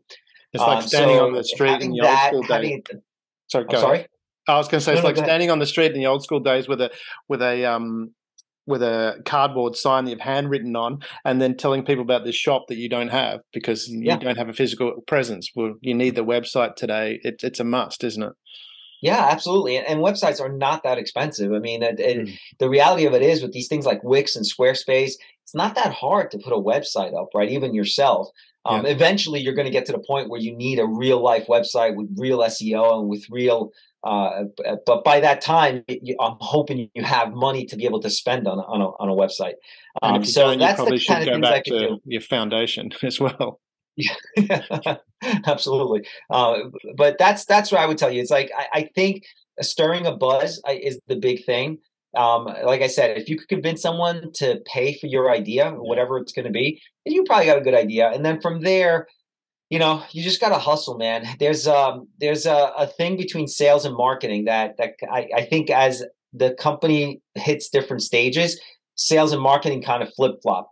Yeah. Um, so when you first start a company, it's all about sales. I, I, mean, marketing is non-existent, but most people don't have money for marketing. It's really hard uh, to, to to get any kind of value from the amount of marketing you're able to afford. So it's got to be all about sales. Yeah. Once you get past that point and you get into a real company and you, you get to a, a certain size, I would say once you pass that million dollar mark, marketing shifts with sales. It's all mm-hmm. about marketing because if you don't have that presence out there, it's really hard for the sales to actually flow. You're not going to get any lead generation. Uh, so, but at that point, when it flips, then you start having money to be able to f- uh, focus on different marketing channels. Yeah, can you describe for because I think there's a lot of confusion out there being the difference between sales and marketing. Uh, can you describe the two, if you, in a nutshell, what what is sales and, and what is marketing? Yeah, I, I anything that you do to generate leads into your business is considered marketing. And leads are just people that show an interest to your product or service, just yeah. an interest. That is marketing. Sales is when you take those leads and you start cultivating them and you put them through a funnel, right? Yeah. So they come in at the top of the funnel and you start qualifying the lead. Do they have the money for your service? Do they have the the the need? Do they have the pain points? And you have a conversation with them. You show them a proposal. All that is sales. Beautiful. Love that. Now, when doing this, you've um you mentioned about liking what you do. So let's take that as a foundation of liking what you you you've got that as your foundation. You like what you do. You're you're an IT guy. You like working in IT. Um, that's a passion. Now, when you have to work hard at that and you have to struggle and you have to slog, that love for what you're doing can take a battering. How do you maintain that love and, and that motivation in those times? What do you do to keep motivated, to keep enjoying what you're doing? Do you focus on the end goal? Do you focus on, do I, you know, I'm enjoying what I'm doing because I can see an end goal? How do you keep yourself motivated? I mean, I'm getting to the more the chemical things that happen in your body with, you know, dopamine and serotonin yeah. production because that's what makes us feel happy. How do you make yourself happy every day? It, it's kind of funny because that, that's that's really about that one win, right? Because yeah. um, in my in my uh, specific technology, right, um, I love helping owners hmm. fix business problems with technology, right? Yep. And when you get that opportunity and you get that one win, you can have a whole bunch of other failures behind there that doesn't really affect you. And it's similar to customer service, right? Customer service, there's a little there's a little needle and every time you do something right, it goes up one notch, up one notch, up one notch. But do one thing wrong, and it goes all the way down to zero, right? yeah, snakes and, and ladders. the same. like you're absolutely right. You do take a battering, but it's about that that win. I think for me, it's like when I go in there and I automate a process, and the the, the owner gets the benefit of it, and he's super happy. That makes up for every other one where you know I get a no on a proposal, or uh, you know you don't get a chance to sell, or or, or whatever the the downfall could be. So, from your perspective, you're saying that the motivation is is about, and what keeps you going is focusing on that outcome. That that outcome is going to happen uh, as a mindset, as yep. opposed to going, you know, oh, I'm hitting all these walls. Yeah, I, I, mean, and there's been times where you you, you kind of, I mean, and that's part again going back to the grit. There's been times where you sit there at the edge of your bed. It's like I don't want to do this anymore right? and it's because going back to the the chemistry thing, it it does take a beating on you. But then you just get up and you try one more time. And mm-hmm. that one more time just happens to take you out of it because it's like that's the one you close that deal, you do that cool thing or whatever it ends up being. You get this really great client, um, and you just succeed and you keep going. And that's that's just life. You know, that's not that's not just business. That's just life. It's like I think if you just get up that one more time, it, you're mm. gonna have some sort of success, and that's just gonna take you out of the the the, the little depressive cycle that you're in and is part of that this risk management we were talking about before and the, the, side hustle type thing where you know you haven't put everything on the line because as you said I, I, can imagine now like if you take your experience where you know where you put everything on the line you've sold your house the money's running out and as you said, you're in a meeting and, and with people and, and, you're literally crying because you're not sure what to do and how to, to do that. Whereas. I can imagine now where you've got several businesses, if you start a new business and it's not going so well, that doesn't have as much pressure on you and it doesn't cause you to to be um, focused because as you know when our, when we get stressed we, we tend to have a, a narrow band of focus is that part of you know should someone think about that as well as far as managing risk as to going okay the downtime if, if i'm not um, in this high stress situation i'm going to perform better. I'm, I'm, putting it in context like a friend and i we purchased an 1800 um, square meter. I'm not sure how to convert that to feet sorry. Um, but there's only a couple of places in the world that still use the imperial system. Yeah. but anyway we bought this factory um, and we but we had a plan to build a, a, car track in it, a radio control car track, run it as a business, but we we had the underlying asset and we had you know, optimism bias. We're going to have all these people come, and, and it was, but it, it, never turned out that way. Um, it mm-hmm. was fantastic. It was ranked third best track in the world for you know for toy car track. That's pretty cool. Uh-huh. But That's pretty cool, actually.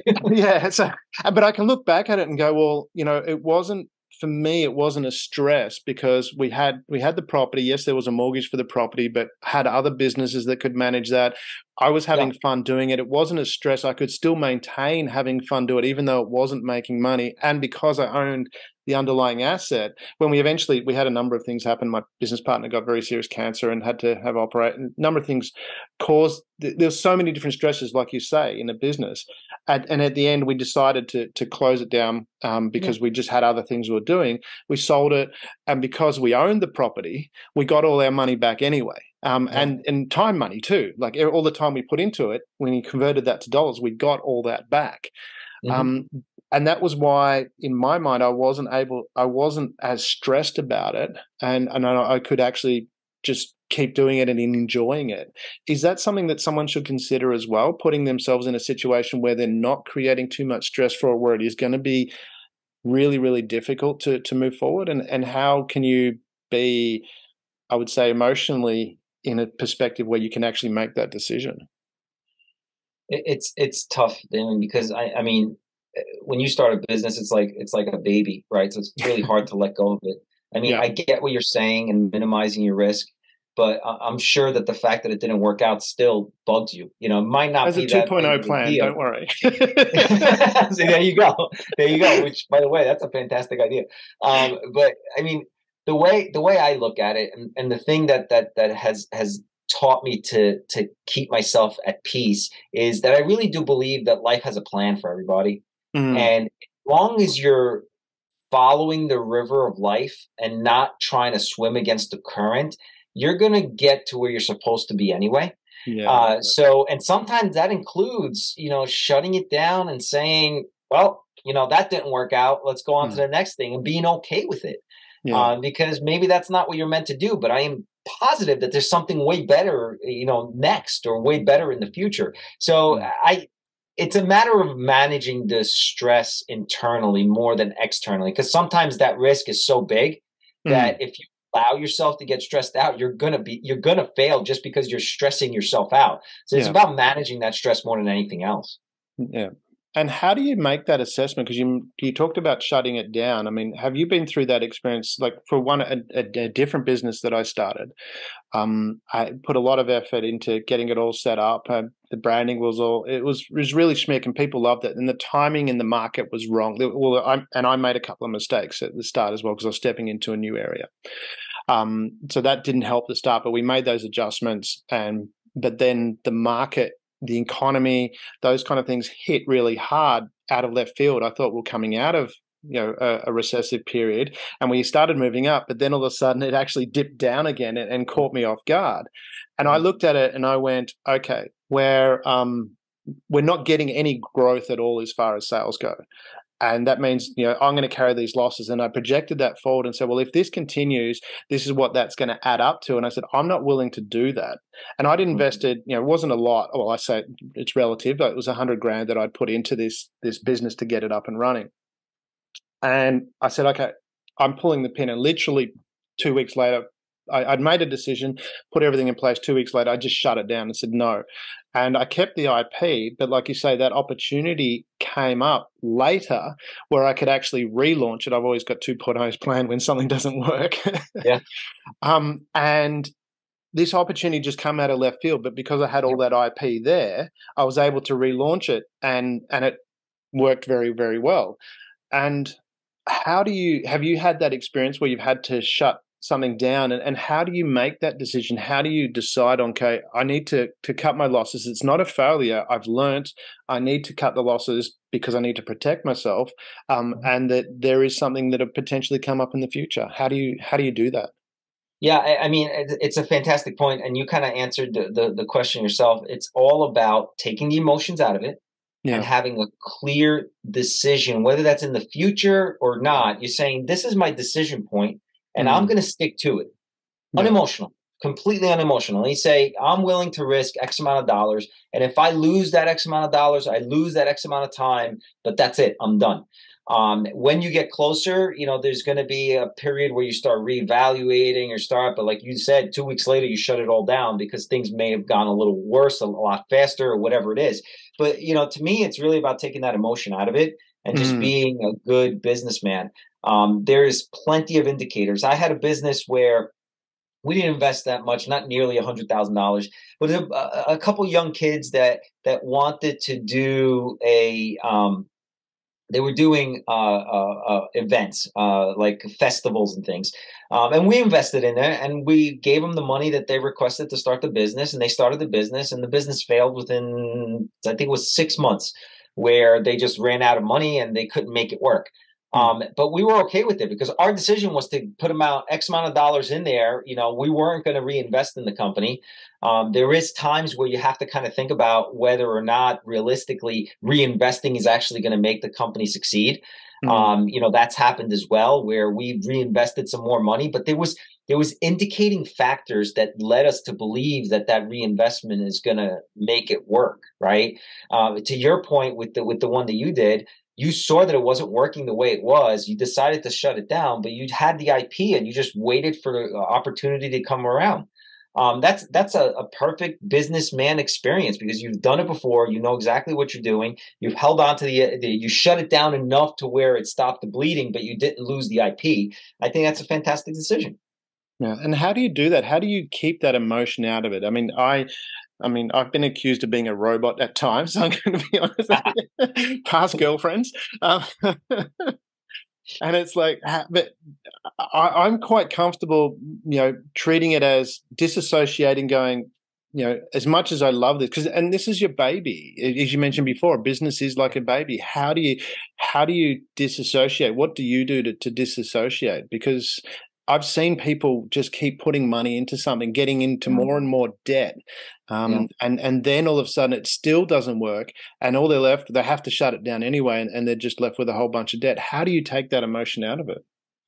Yeah, I, I mean, and and that's people that are going to make it as compared to people that aren't going to make it. I mean, the way I do it, and there's a multitude of ways to do it. You know, people can use the gym and working out. I use meditation. That's my, yeah. my biggest thing. Um, I try not to make um, because uh, uh, from a personal level, you know, I see a car I like, I'll buy it. I just I'm like that kind of emotional guy, right? Like that that's really hot. I'm getting that, yeah. right? Um, yeah. But from a business sense, I I really try not to be spontaneous in my decision. Um, again, when I was younger, mm. way different than now. Yeah. When I was younger, it was all let's just go, go, go. Now it's more like, well, let me give it 24 hours. Let's let's see how I feel tomorrow. Uh, but that's how I kind of do it. Is just let give yourself time, and then just try to play. And and removing your emotions is a skill. It's something that you could definitely learn. Is that something? Because I remember a story of Abraham Lincoln after he was it Abraham Lincoln, one of the the presidents in America anyway. After he died, um, they found in his drawer some letters that he'd written. Um, it was to do with it was the Civil War. I'm so I'm not from America, so I apologize yeah, yeah. For, for messing up your history, and I know that's very important. Um, yeah, I mean, Civil War could be Abraham, so absolutely. Yeah, so I think it was Abraham Lincoln, where and and there was some things that hadn't happened on the front that he expected and hadn't made the push that they needed, and, and they could have actually won the war a lot quicker. Mm-hmm. And and it, there was a they, they found this letter in his desk that's you know was scathing and why haven't you pushed forward? Why haven't you done this? You know, and and he never sent it. and you mentioned about waiting 24 hours. Yeah. And I wonder, is that you know just a maturity thing of going, okay, let's just give it that time to settle because we've all done that. We've had an emotion and said something we wish we didn't, whether it's in a personal relationship or whatever. We had to just bit our tongue or just thought about it for a little bit more before making that decision. Is that critical to this this taking the emotion out of it? Oh, absolutely. It, it's a critical life skill. Yeah. I, I, mean, I would challenge anybody that that's that's like even surfing the internet to buy something, right? Fill the cart and then come back 24 hours later and see if you actually buy it. Uh, it because it, it, it, really like time does make a big difference. All of a sudden, yeah. what was all necessary five minutes ago, you know, you give it enough time and it's like, you know, I don't need that. And you kind of walk away from it. So, yeah, it's absolutely a life skill uh, as far as I'm concerned. Even if you're talking mm-hmm. about you know, punishing your kids or um, uh, giving them a gift or whatever it could be, if you just give it a little more time, if you come back to something and you do it, your decision was probably the right one. Yeah, that's a great, great piece of advice. All right, coming back to your book, and I wanted to get to this book, and I, I left it. You know, now you're running a business, you've set up business, you've, you know, which is flat out, and you've talked about that process of how difficult that was. You're also ma- managing a number of other businesses as well. Yet you've still had time to write a book. How did you, you know, where did the idea for the book come from, and then how did you find the time to write the book? So for anybody that hasn't written a book, um, it, it, it was one of the hardest things I've ever done in my life. Yeah. Um, it took me three years to write a book. I've attempted to write a book uh, three other times before this one. Um, mm. And each time that I've tried to sit down and write a book, it, it, didn't go well. But it did take me three years to write it. Um, wh- what happened was, and and um, it was so there was a point in my life when I started these businesses where I had um, time on my hands and what not so much time like I, I, I could say that free time right because yeah. you can always be doing something when you're starting a business but there was time on my hands and i remember sitting in my office um, in my home office and coming to an epiphany where I said to myself, my God, I am an avid reader. I've read no less than 350 books in my life. I've hmm. listened mm. to all these podcasts. I'm part of Vistage. Like I've amassed an, an amazing amount of knowledge. Mm. And I'm 40, I was 44 at the time. I'm 44 years old and I started thinking about my children and I'm like, oh my goodness, if they have to go on a similar path, it's going to take them about 40 years to get to where I am today. There's got to be a way for me to fast track this. Yeah. And that's when I sat down and I don't know where it came from, Naaman. I just started drawing out the four wheels and the six pillars. Um, and they're just categories to the things that I learned that you need in your life to actually access that person that's inside you, that person that you go to a meeting one day and you just knock it out of the park and you're like the best version of yourself and you're at awe with yourself. Like who was that? Like who was that person that showed up today right? Why am i not that person every single day? Yeah. so i drew this thing out and it ended up being um, a graph of the four wheels and the six pillars and then from there i put together a a uh, um, a framework of what i thought the book would be um, and then I would devote a couple hours here, a couple hours there, and would write a little bit, then go back and write a little more. And three years later, I actually came out with a book. so was you did you actually have yourself set a goal where you're going to say i'm finish this book by now or you you just let it flow and finished whenever it finished no, I it was completely unrealistic for me to have a goal uh, because, like you said, I had so many things going on. There was there was weeks where I didn't touch it.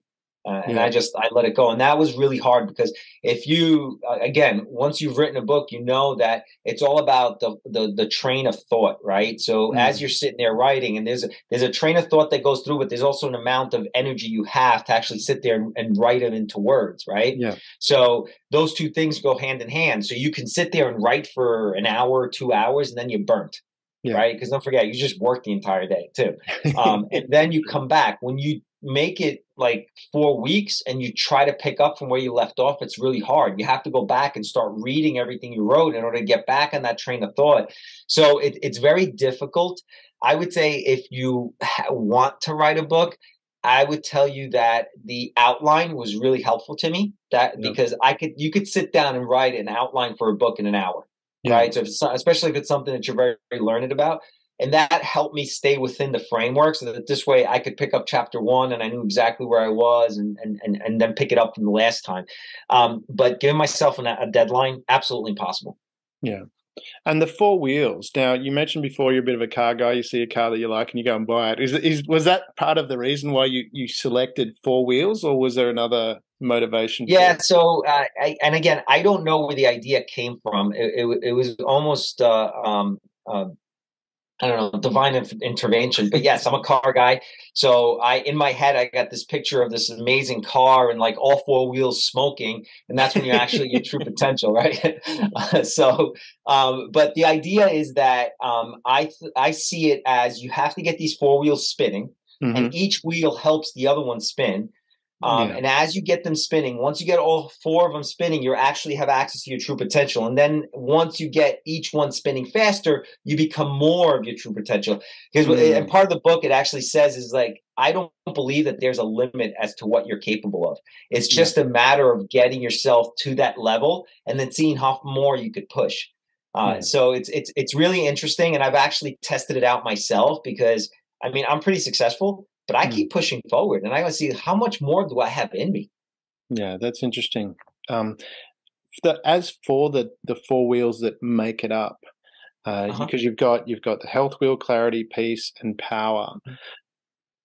Was there? I mean, do you treat them as those are the, the key fundamentals, or there's other aspects that should be, or, or these are the key things that you really need to focus on? And what would be, if we go through each of them, what would be some of the more uncommon reasons for having that as a priority? I mean, health is, when you say health, I mean, it's obviously got to look after your health, but what would be something more uncommon that makes health more of a priority in your, out of all the things that could be of the four wheels, why is, what is health there for? So the, the, the way I, I designed or the way I, th- I think about it is you, you have the four wheels, you have health, clarity, peace, and power. And there's six pillars. Mm-hmm. Um, two pillars support the health wheel, and that's mm-hmm. fitness mm-hmm. and nutrition. So in order to be healthy, to, to have your body and healthy, and I'm not talking about being a bodybuilder or being like super muscular. That that's not the intent here, right? The intent mm. is that you need to put good food in your body because I believe that food is medicine. Yeah. And a lot of times people don't understand that. You could actually be poisoning yourself with the things you're throwing in your body. Yeah. And then fitness, it's a matter of just keeping moving. You don't have to do much to be actually fit, right? A yeah. little bit of cardio, walking around, going going to walk with your wife, uh, or, or, your husband with your kids on the bike, you know, that's enough to just keep you uh, in a fitness. But that will get your health wheel spinning.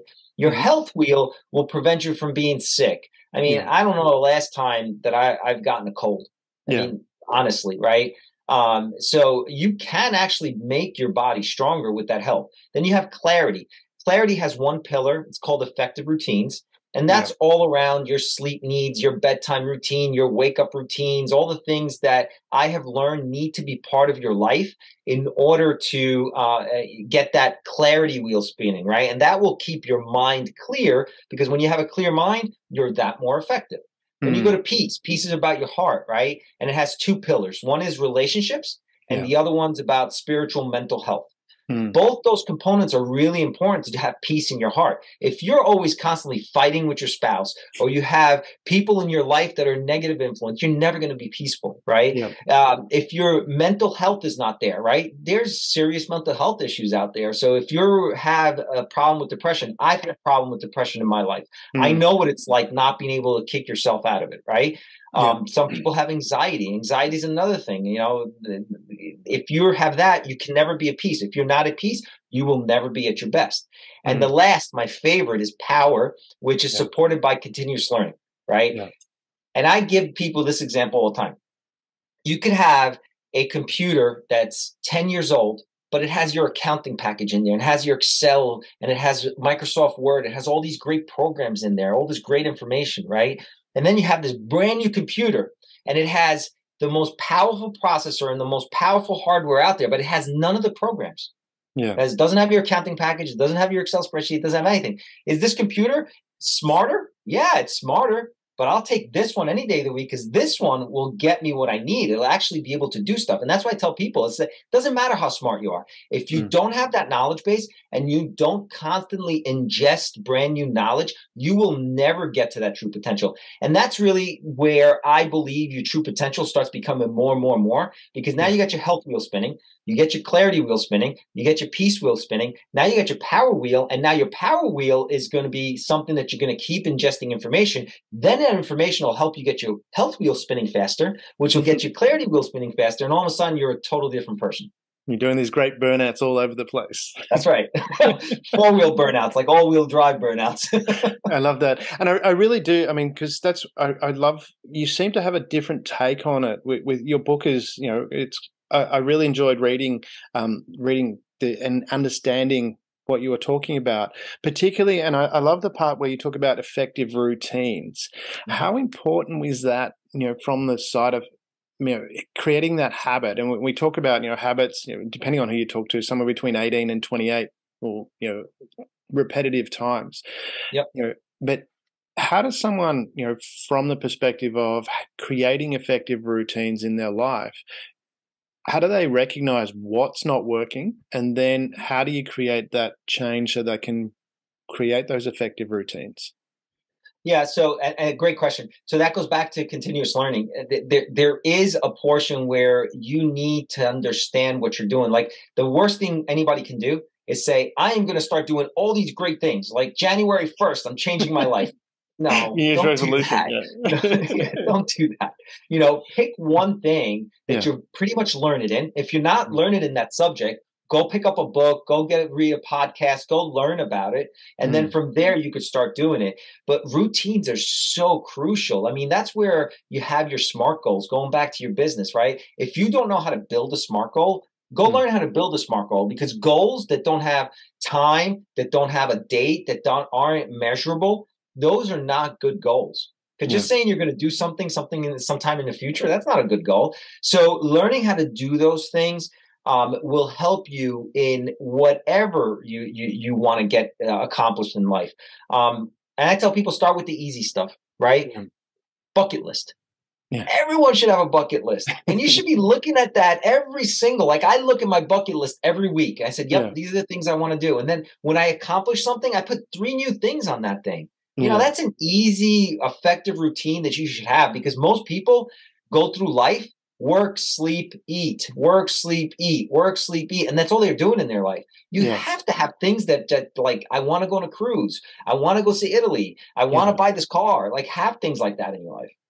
How do you do? I mean, because Napoleon Hill talks about that from that perspective of, you know, have your, have your list um, or what it is that you want to achieve, and then read it every day. Excuse yep. me, um, and and that's as you're talking about effective routines is that you know what, what you would suggest for someone as a fundamental rather than you know going through life reading it you know because I know from my perspective that's very much the case. Not not only I have my own personal mission statement, which I, I it's just so unconscious now. I don't even have to read it; it's just constantly there, and I can recite it, and I'm I'm, I'm acting from that.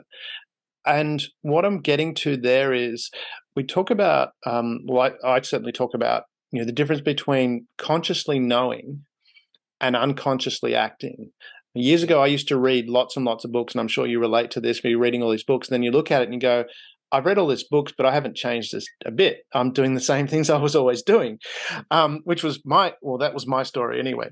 And and then I decided what I'm going to do is I'm going to pick one book uh, and one part of that book, and I'm going to integrate that. So it's going to become an unconscious habit. Because I, ha- I have a military background, and, and part of that was you do drill, so it becomes an unconscious behavior there's a cause you react and it, you just do it like changing gears in a car coming back to the car references it, it's not something you think about how important is it to recognize from that those routines to actually go okay let's integrate this and make that happen rather than try and do everything all at once yeah that, that's a that's a fantastic point and i do talk about this in the book because um, the, the, in the beginning of the book, I tell everybody there, there's a couple rules that the 80% rule, but one of the ones that, I, that, that that's also in there is all about starting slow mm. and then building as it becomes mm. a habit. Right. Yeah. So I used to be 350 pounds, uh, believe it or not. So wow. I was morbidly obese. Yeah. And I remember that I had a hard time just walking.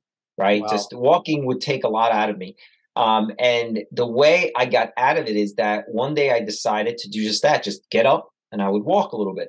Yeah. And then one day I just added a little more. Once it became easier for me to do that, I got out and I started walking around the block. And mm-hmm. then we used to have this lake around the house, and then it, it turned into a lake, and then eventually it turned into uh, a membership at uh, Title Boxing, right, where they do a lot of uh, cardiovascular workout. And then it turned into a full fledged gym membership, and little by little by little, it was adding upon adding upon adding. So yeah. in the book, I talk about all the things that I believe should be part of your life, but nowhere do I say do it now, do it all now. You have to make them routines. You have to make them habits. Mm-hmm. And and I do mean routine and then habit because there is a big difference between them. Once they become second nature, you add on and you do yeah. something else. Right. Then maybe you add a sleep routine. Maybe you add a meditation routine. But there's all these great things, and you just got to add them a little at a time as they become part of your life. Yeah. Is that because, you know, if you try and do everything all at once, you're spending too much effort in different areas and not really effectively doing anything. But if you do one thing, do that well, then move on to the next thing, you actually accomplish more over time. Is that what you're getting to? Yeah, absolutely. I mean, I even go as far as to tell the eighty percent rule that I, uh, talk about in the, in, in the book is all about giving any one thing at least eighty percent effort. Right? You don't have to give it hundred percent effort. Mm. Because even giving something 100% effort, yeah, you'll get to the finish line faster, but some people just get burnt out and then they mm. give up on whatever they're doing. So, like, uh, nutrition is one of my favorite because obviously, you know, that's where I think everybody should start. But if you don't need a fad diet, you don't need a high uh, calorie restrictive diet to start losing weight. Just do nothing more than eat 80% of whatever it is. You like pizza? Mm. Great. You eat pizza every day? Great. Eat 80% of what you are doing. I guarantee you that you're going to start losing weight, right? You yeah. do things like that. Water. Drink 80% more water. Doesn't have to be 100% more water, just 80% more and add mm. that to your life. And you start doing these little things, and as they become habit, because at, at, a certain point, drinking water just becomes part of your normal life, just like not drinking water is right now, right? Um, Eating a little less becomes part of your life, just like eating all those calories is. But if you do those things and you just do 80% of it, you start seeing, you start getting traction. And then as you could do a little more, you add it. And then once you master that one thing, you add the next thing. Yeah. How important is it to when you, you're doing that, when you're changing one habit to another habit, to actually having something more productive there or, or a different habit. Uh, from my experience, uh, um, I'm I'm still a big chocolate lover, but and and I'm a contracts guy. So I, when I you know I um I'd go I'm only going to eat the first row of the chocolate, um and then I'd take that first row and then I go well that now is the first row, so I'd have the next one, and soon the bar's gone. So I just made it a habit of okay I'm not going to um not going to buy the chocolate, but then what I did was I replaced it in the sense of I, had more fruit and to your point, water. And I made sure that I've got my filtered water jug sitting on the bench right there in front of me so I can see it. And I go, okay. And that was how I was able to change that habit. How important is it to change, um, you know, to have something to change that habit too and, and make that a focus? Yeah, I mean, it's it's definitely everybody learns differently, uh, and and you know, creating habits is is just another form of learning, right? Yeah. A, a, lot of us actually know the right things to do and the wrong things to do. You know, a lot of us know a lot about nutrition. we know a lot about fitness. We choose yeah. to ignore it, but we know yes. it. um, so it, you know, it's all about the way you are able to learn how to do things. You know, I'm an auditory learner. So a lot of times, you know, podcast, audio, audio books, that's how I end up picking up things. Other people need to have that thing in front of them as a reminder, which is fine. If that's mm. the way you learn, that's great. Let's let's do that. Put that big uh, container of water in front of you and just start knocking away at it. Um, but it's it's a matter of knowing yourself, you know, and that's probably the biggest challenge that the young people have as compared to older people. Older people know themselves. Yeah. They know how they have to treat themselves in order to get certain things done. Younger people have a harder time. They're still, you know, learning how to do those things. Uh, but do whatever it is that makes it easy for you mm-hmm. and just master one thing and then go on to the next one and then master that other thing and go on to the next one. Yeah, yeah, great advice with that. If you're going to sum up the book, what what would you say are the key takeaways from your book that people should integrate into their life? So the biggest thing about the book is really about that continuous learning. I, I mean, I you know that's why I, I, I talk about podcasts in, in in the book, and I think podcasts are a phenomenal way to to learn, especially these types of podcasts where we're sitting and having a conversation because mm. it's not necessarily that we agree with everything we're saying with each other right but there's this challenge there there's mm. discussion mm. i mean that i think that that's a skill that the entire world needs to learn all over again because there's not enough of that uh, so let's just talk without getting upset at each other you know it's it's, it's i know it's mind boggling but um but yeah, so I think continuous learning is the biggest thing to the book, and mm. and, and that will help you get the other stuff. Yes, I list out the other core principles, but you have to learn before you can do any of the other things. Yeah, that's really important. Um, this continuous learning and how much of that comes down to actually wanting to listen? Because we, we talk about that where today's environment it seems to be more and, and i don't get involved in debates at all now because debates is two people with an idea turning up trying to convince the other person and not listening to anything. How much do you feel how do we get to that mindset? Because i do think we've gone too far the other way. I agree with you completely where we we actually need and that was my only resolution for this year because i was thinking about it coming into the new year going well my goals and, and my intentions are pretty set already that had been planned and i'm still working to that because they're, they're much bigger. So i was like do i really have any New Year's resolutions, and it didn't feel right that I didn't have any. And then was talking with someone we talked to, and I'd been focusing for several years on listening because how often do we sit in a conversation and we're too busy thinking about what we're going to say next, not really listening. And I'd been training myself to really be actively listening, and I said, well, that's actually going to be my. I'm gonna I'm gonna master that. Was my thing. It was like I'm good at it, but let's be really really good at it. And so I'm just wondering how much of that continuous learning process is about the listening, but how do we make that transition from where we are now, where it seems to be more about, you know, getting offended at something that someone said rather than understanding what was the underlying part about that? A fantastic question. I mean, the, the, the it goes back to everything we've been discussing. You're not mm-hmm. the smartest person in the room. Yeah. Learn that, right? and then accept that you may be wrong. Like I, I actually like uh, you know listening to the opposing argument. I won't argue mm. with people anymore either. I'm I'm right there with you, but I mm. will listen to what they have to say. Yeah. Um, and a lot of times they make me think. You know, do they change my mind? Sometimes. Most times, no. Most times, you know, I'm set in my ways, and I I do have I'm very opinionated, but I do listen to people because sometimes it takes someone saying it a certain way to kind of make you say, "Huh." Well, I may not agree with it, but he's got a very good point. He or she has a very good point. So I, I think listening is super important. I don't think we're doing that. I see way too many people just screaming at each other uh, and not getting anywhere. Um, and it's a, I don't know if it's a lost art or what. I mean, many many of our politicians are, are, are they look like they listen, but they're not even paying attention. Uh, you know, so it's yeah. really really important to sit there and just have the patience to give someone the opportunity to state their point mm-hmm. in completion and then you can disagree with that person that i mean i'd be amazed it, it's impossible for all of us to agree on everything um, but then you respect their point and move on how much of that like as you mentioned even though that someone might not change your opinion but from your perspective when you've actually stopped and listened to them how, even though your, your opinion stays the same Mm-hmm. Have you learnt from that and been able to integrate other things that have actually made you better? So even though I mean, because we can we all we don't all have to have that same opinion. If if we all had the same opinion, there'd be one type of phone in the world, and there wouldn't be this rivalry between you know iPhone and, and Samsung. You know, and it wouldn't be better. Yeah. Um, but what I'm getting at is, you know, from that perspective, even though you have a difference of opinion, I find from my perspective, this active listening, I might go, well, actually, I don't agree. I understand. You mentioned before understanding your point of view, but from understanding the point of view, I've gone, well, actually, there's part of that I can integrate and actually help me do, even though my opinion hasn't changed, it's helped me move forward and act in a better way.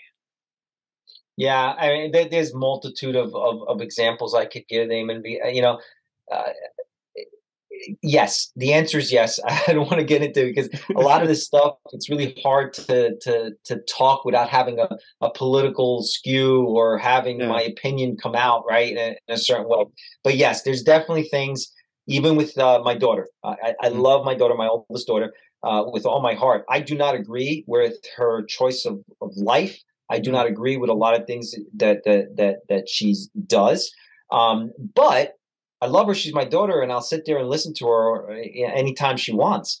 Mm. Um, we'll have political conversations, and we're on two different spectrums.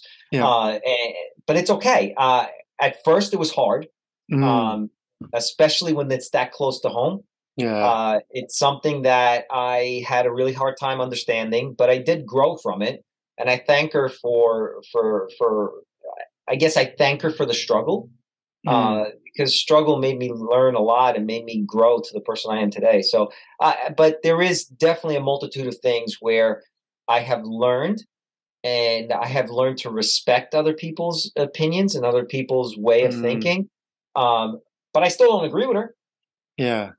That's and I wanted to get that, and I know that was difficult to come out because I went through a similar sort of thing where it was the same thing where people they had a difference of opinions, like, and then I went, hang on a minute, they're they're entitled to have a, their opinion as well but what can i learn from that and and the point i love the words that you use there but that's okay and it is okay that people have differences of opinion. We don't have to be all the same. I, I, I, mean, I personally, if there was a whole bunch of people like me in the world, that would be really bad. I think you know, one of me is enough. Yeah. So, but yeah, I no, love what it, you say. That's okay. Yeah. Um, and is that something we just need to get to and go? Well, it is okay to be different. We don't have to be the same, and, and it's not a threat to us that someone is different. Yeah, I, I, I think so. There, there, there's a threshold, obviously, right? I yeah. mean, where that threshold because it's got to be like a huge gray area. There's, there's, there's certain things that are clearly wrong or yeah. clearly can't just just you cannot accept it, right? Correct. Um, but there's a huge gray area, And that's Yeah. where you kind of got to live and kind of understand where once they get into that gray area, it's okay. Um, you know, it's it's your choice to to be whatever way you want. Um, it's not easy. It's it's Yeah. definitely not easy. There's a lot of stuff I don't agree with, uh, you know, in today's world. Um, but as long as it doesn't cross that threshold to where you start affecting my ability to make my decisions, or you start affecting Mm. my children, or you start affecting our Yeah. lives, you know, at that point, do what you want as long as you're not hurting anybody else. Yeah, and, and obviously we we're taking and we probably need to add that disclaimer in that we're not talking about someone doing something like you know Adolf Hitler did, or you know that kind of thing. right. We're, we're talking about you know when you look at it and go, well, you you can have it's not really affecting me or or, or causing anyone harm to have that difference of opinion, and and that's okay. I, I love that. I'm gonna I'm gonna steal it. Sorry. no, you can you can absolutely steal it. I mean, that's that's one of the things, man. You know, these podcasts that I've been doing, I've been doing podcasts now for for the last two three years, but it, it it's it's starting to stir up my. I, I've always wanted to have a political life after Mm. after business, right? right. Um, and it's for these reasons because I feel that I actually can sit here and listen.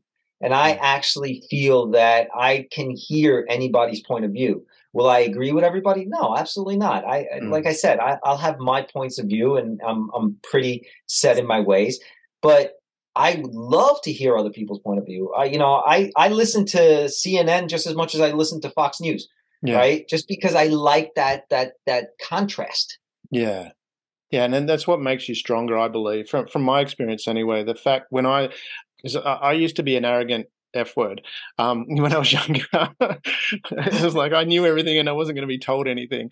But I, Yeah. I've since found that you know from listening, and I said I, I discovered this a long time ago, and it's been a progressive thing. And this year was became okay. This is something I'm really going to. Fo- that's going to be my focus to really, really listen to people, not necessarily agree with them, but to listen. Yeah. Um, and it just makes I found it's made me so much stronger in the sense that I can calmly sit back and listen. If I need to act, I will act. If I need to explain something, I can explain something. Um, and if if that person, if we can't agree, then we, maybe we need to be separate. Um, that's you know, um, yeah. uh, and I was just was just wondering how is there you know is it a process of because these podcasts seem to be great getting a lot more um, popularity. There's a number of people that now actually do you know, it's almost like a rock concert where they'll just have a, a discussion on on a stage and people will be involved with that. Is that something that you think is the movement that we need to make where we we actually people will then start to realize okay listening's just something that's really important? Yeah, I, I think social media needs to be completely um, redone. And I think these podcasts are one of the formats that will get more attention and will grow because look at the difference between Twitter and Facebook and all these other social media platforms as compared to a podcast. A Yeah. podcast, they have in- intelligent people having conversations, they Mm. let each other talk, and you actually get something out of them as compared to someone sitting there with a 24 carat tweet that that it's insulting or um, gets banned or it gets taken down. And like, you don't have that with podcasts, you know, because people want to have conversations. And there's plenty of co- podcasts where um, people have difference of opinion and they're having cordial discussions about it. yeah Um, and I think it's super, super important because I do understand the whole uh, philosophy of Twitter being like the next town hall. But Mm. at the same time, I think it's a big, I think Elon is doing the best he can with what he, he was given. Mhm. Um, but it's, I think that the, the, the, the, the podcasts are, are a way better format. They're longer. People get to express their points a lot better. Um, there's none of this bullying that's happening with, uh, at least I haven't seen it with the podcast I listen to. Yeah. Um, but yeah, I think it's crucial. Uh, We need to talk. We're we're a conversive species, right? You know, it's one of those things that that that we do is we sit there, we have thoughts in our heads, and we put them into words, and then the other person comes back with a different opinion, or or yes, I agree, and and and you know, I, I think that they're super important. And these conversations that we're having as well because I, I always come back to um and I, I talk about the the movie crocodile dundee and i don't know if you remember that movie or not but Oh, there's, yeah. a scene, there's a scene in it That's where they're yeah, exactly. The other scene that I like from that movie is when they're in the high rise having a discussion and they're talking about a psychologist, and she says to him, you um, you probably don't have a you psychologist in Walkabout Creek, and he goes, no, no, we we we just have Wally. If we have a problem, we tell Wally. Wally tells everybody else, no more problem. And how much of that is, you know, today where we're going, we we get really worked up thinking that we've got this problem that we're all alone and, and maybe through the shortness of the tweets or you know the facebook posts or whatever we're not really understanding that people are going through the same process. And by having that discussion we actually realize that people are going through the same thing. I've been fortunate to travel to over 40 countries. I think i've traveled to 44 countries. And in talking with the people that i've been there i've, I've learned that that we're all rough we all have the same fundamental wants and needs. We want to enjoy our life. We want good times with our family. Um, we want good things for our kids. I haven't met anybody that you know hasn't fallen in. I'm sure there's some sociopaths and psychopaths out there that don't fit that category. And but that would be the really, really end of the you know the curve majority of people just want that they all want that same thing. And is it a case where if we these having these discussions we actually start to realize hey we, we've got a lot of things here that we do have that fundamentally we have the same things in common and through our differences we can actually learn how to make that happen as well. Yeah absolutely. I, I think that the the, the platforms um, have their merits. Like it's really easy to be insincere in a tweet you know or a mm. post right? Yeah. because it's it's short and it's also real easy to get misunderstood in one of those. it's a lot harder on a on a you know a venue like this because mm. you have to put your words together the other person can challenge what you're saying and mm. you're going to have to come back to it so I, I, think this format definitely leads itself to better um, sharing of ideas and better mm-hmm. communication of ideas and challenging of ideas than any one of those platforms yeah, beautiful. All right, let's come back to you know your business. Now you've spent a lot of time setting it up. You've got Deskside, and I love that name. And and I you know there's just so many ways you can interpret that. And you know I, I have called it "Welcome to the Deskside." I, I love that. Uh, yeah. it, is it, was that intentional with the, the name choice, or what, where did that start? And tell us about the the Deskside business, what it does, how it helps people. Yeah, so so the name it's really funny because I, like, I have started a lot of businesses in my life, um, both, both as owner and, and, and, other. But one of the things that um, will come up when you start your business is your URL for the domain. Yeah. And you have to throw some words out there and see if they stick, right? Yeah. because it's really hard. You got to buy it, right? Yeah. So Deskside just makes sense because we are an IT company that uh, outsources um, your IT departments from small, medium, and enterprise level businesses so that you don't have to hire your own staff. You could have a depth of knowledge because I have really, really great individuals that would be a little harder to get into one company, especially if mm. you're a small business. You're never going to get that level of, of, of, of, person in a small business. It's just you're not going to be able to afford it, right? Yeah. Um, so, um, yeah, the name made a lot of sense. Um, it, we had the URL. Yes. Uh, and it's fun. You could do a whole bunch of different uh, things with it when it comes to marketing. Yeah. Uh, but we like to coin ourselves as your technology success partner that it is at your desk side. Yeah, I love that. And from that, because I love that you touched on the URL side, because that's been one of my things where I've, I've, I've, struggled.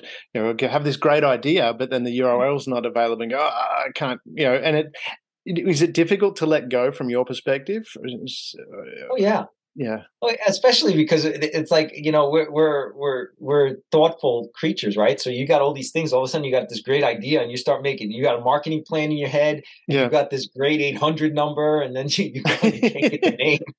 So um yeah i mean it's it's tough. And we've had some really um you know, you got to get really long in order to get anything these days. Like if you're trying to get a three letter URL, you know, you're not going to get it. Yeah. Um, so yeah, it's, uh, it's tough to let go of them, but you, you kind of make it work. Yeah. And so with the services that you provide, you know, you saying you're, you're creating an IT, um, is it an IT hub at, at, your desk side, or is it you know you're you're providing the the IT? What, get into can you explain a bit about yeah, the services sure. that you provide? Yeah, so so we have we have uh, three major bu- buckets that we sit in: um, manage, uh, security, and transform. So manage would be managing anything and everything that is your technology. That's whether it's managed cloud or managed on prem. So if it's servers on site, desktops on site, your firewall, or if it's Azure or AWS or Microsoft Office 365, we manage all that for you. So if you ever need anything, you just call us and we take care of it for you. Yeah. Your employees need to know how to do something or they deleted a file they call us and we take care of it. We do a lot of uh, almost 99% of everything we do is done remotely. Yeah. Uh, so that we can actually take care of, uh, of you 24 by 7 seven days a week for those that, that that have that service but we take care of all that stuff that is managing your your it then on the security side um, everybody knows about cybersecurity these days. And back about 10 years ago, there was a divergence between what's called an MSP and an MSSP. So, an MSP is a managed services provider, and that's really coined for a technology services company for small and medium businesses. And then there's an MSSP, which is a managed security services provider. Well, when I started Deskside, I thought that was ridiculous. It's like, how could your security company not be the same as your infrastructure company? It makes no sense to me. So I merged the two, and I have a whole slew of services that we offer as a security company to make sure that you're not going to get hacked. Yeah. Um, one of the other things that I'm really, really big proponent of is not every company has the same risk tolerance. Mm-hmm. And not every company deserves the same set of tools. So I yeah. make sure that the baker doesn't need the same level of security as the bank right? Because yeah. the baker can't afford that level of security, nor should he need he or she need to, right? Yeah. Uh, so that's where the whole wheelhouse of, of of security comes in, and then we have transform.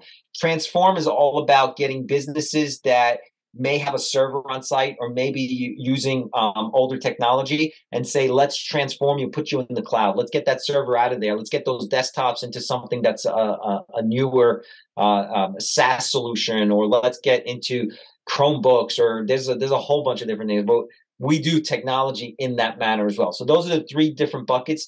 Uh, we service companies from the smallest company I have is 10 people. Uh, the biggest company we have is uh, over 500 people. Mm-hmm. so we, we, we have that um, knowledge base and that level of expertise that we could take care of all these different companies. Beautiful.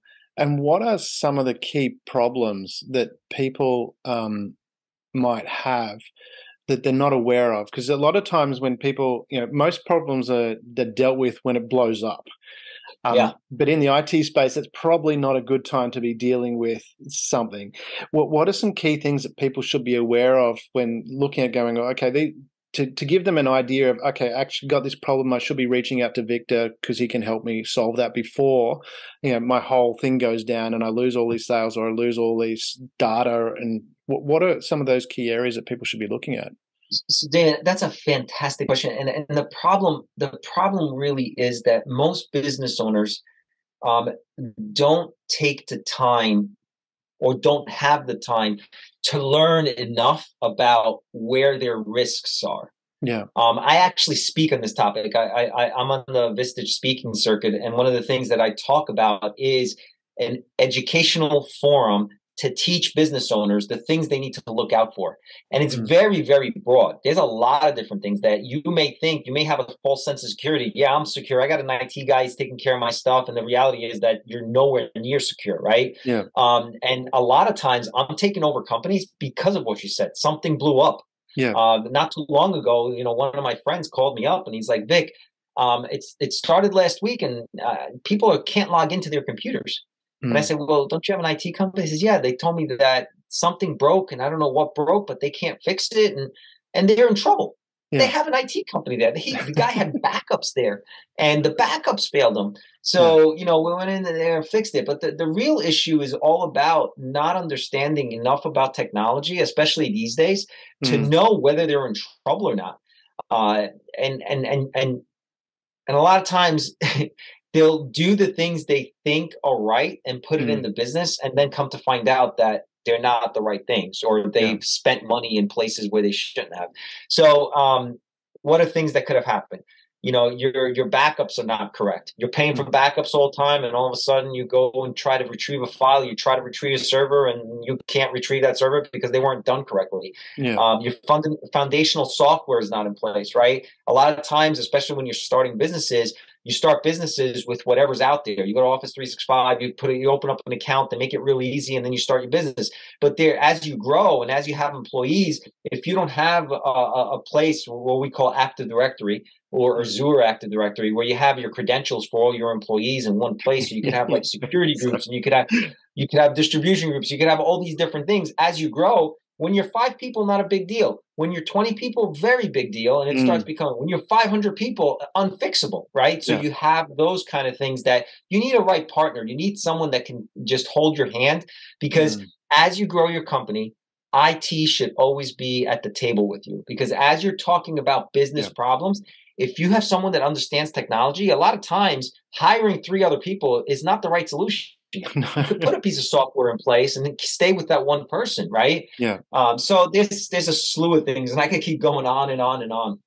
It's it's a really important point that you raise though, because and I'm laughing as you're telling some of these stories because I've experienced it from the perspective of clients that I've worked with where like they don't realize there's that problem and yet the, the logins it's like where are the passwords where do we even find that and it's like and it's it's funny how people simple things like that that they don't pay attention to but it sounds like from that fundamental perspective that's your focus. You go these are the core things because it is so critical. It's like a website.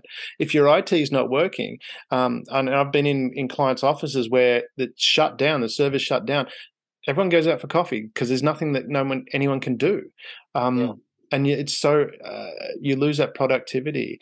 Is that is that fundam- Is that what you're talking about? That you actually got a, a, good grip on what are these fundamentals from a security perspective a business needs to have so it continues to operate. Yeah, absolutely. So every single company that we take over, um, we have a, a, it depends on the size of the company, but it's normally a month of onboarding. Yeah. During that month of onboarding, we sit there and collect all the information. Like one of the one of the greatest examples I, I love giving everybody is you know how many business owners I've met, and I am not making this up, but do you know how many business owners I've met that did not own that URL? that they had a key employee or they had, you know, uh, the, the, the, their cousin or their nephew actually buy their domain, and now they've got this multi-million dollar company, yeah. and they don't have access to their own domain. Yeah. So it's stuff like that, and it's not because you know they're they're not responsible they just don't know any better yeah. So we go, we onboard these companies and we go from soup to nuts and we make sure we get every single vendor that's a technology vendor, every single contract. We make sure we understand it all. We understand the business. We take a look at everything. We say, okay, after we, the onboarding is done, uh, Mr. Business Owner, these are the things we think you need to do immediately. Hmm. These are the things that I we need you need to do, but we could put them into next year, next quarter, next whatever.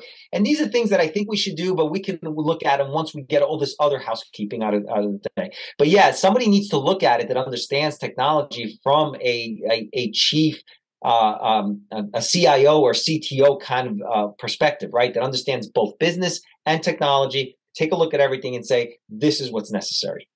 Yeah, it's an important point that you raised because, as you talked about, um, in you know, the number of businesses that you've got as an investment are because they've failed in the sense of their IT didn't work, yeah. and I mean, business is fragile enough as it is without having that something that could have been avoided, um, avoided. Yeah, or you spend the money. Like you know, budgeting is also a big thing because I one of my pet peeves with competitors is that a lot of my competitors will get a um, I call it a box of tools and try to mm. sell every single business on the same exact box. I hate that because I don't think that that's fair. Not every business mm. needs that box of, of, of services, right? Yeah. Um, and, and a business owner will go and invest in this thing because this this advisor, this IT advisor, is telling him this is the right thing to do, and now he's paying thousands of dollars a month for a service he doesn't even need. Yeah. Uh, so you know, one of the things that I look at is what does this particular business truly need, right? Because mm-hmm. not every business needs the same thing. Yeah, and that's an important point that you did raise. It's it's because I've seen it so much where people are paying for software and things that they're actually not using, or even if they are using, they're probably using it to about five percent of its capacity, which affects the dollar side of things. And when we're talking about you know, being efficient, you you understand the business side of things and how to link that IT to the the dollars and, and the net profit that you're making.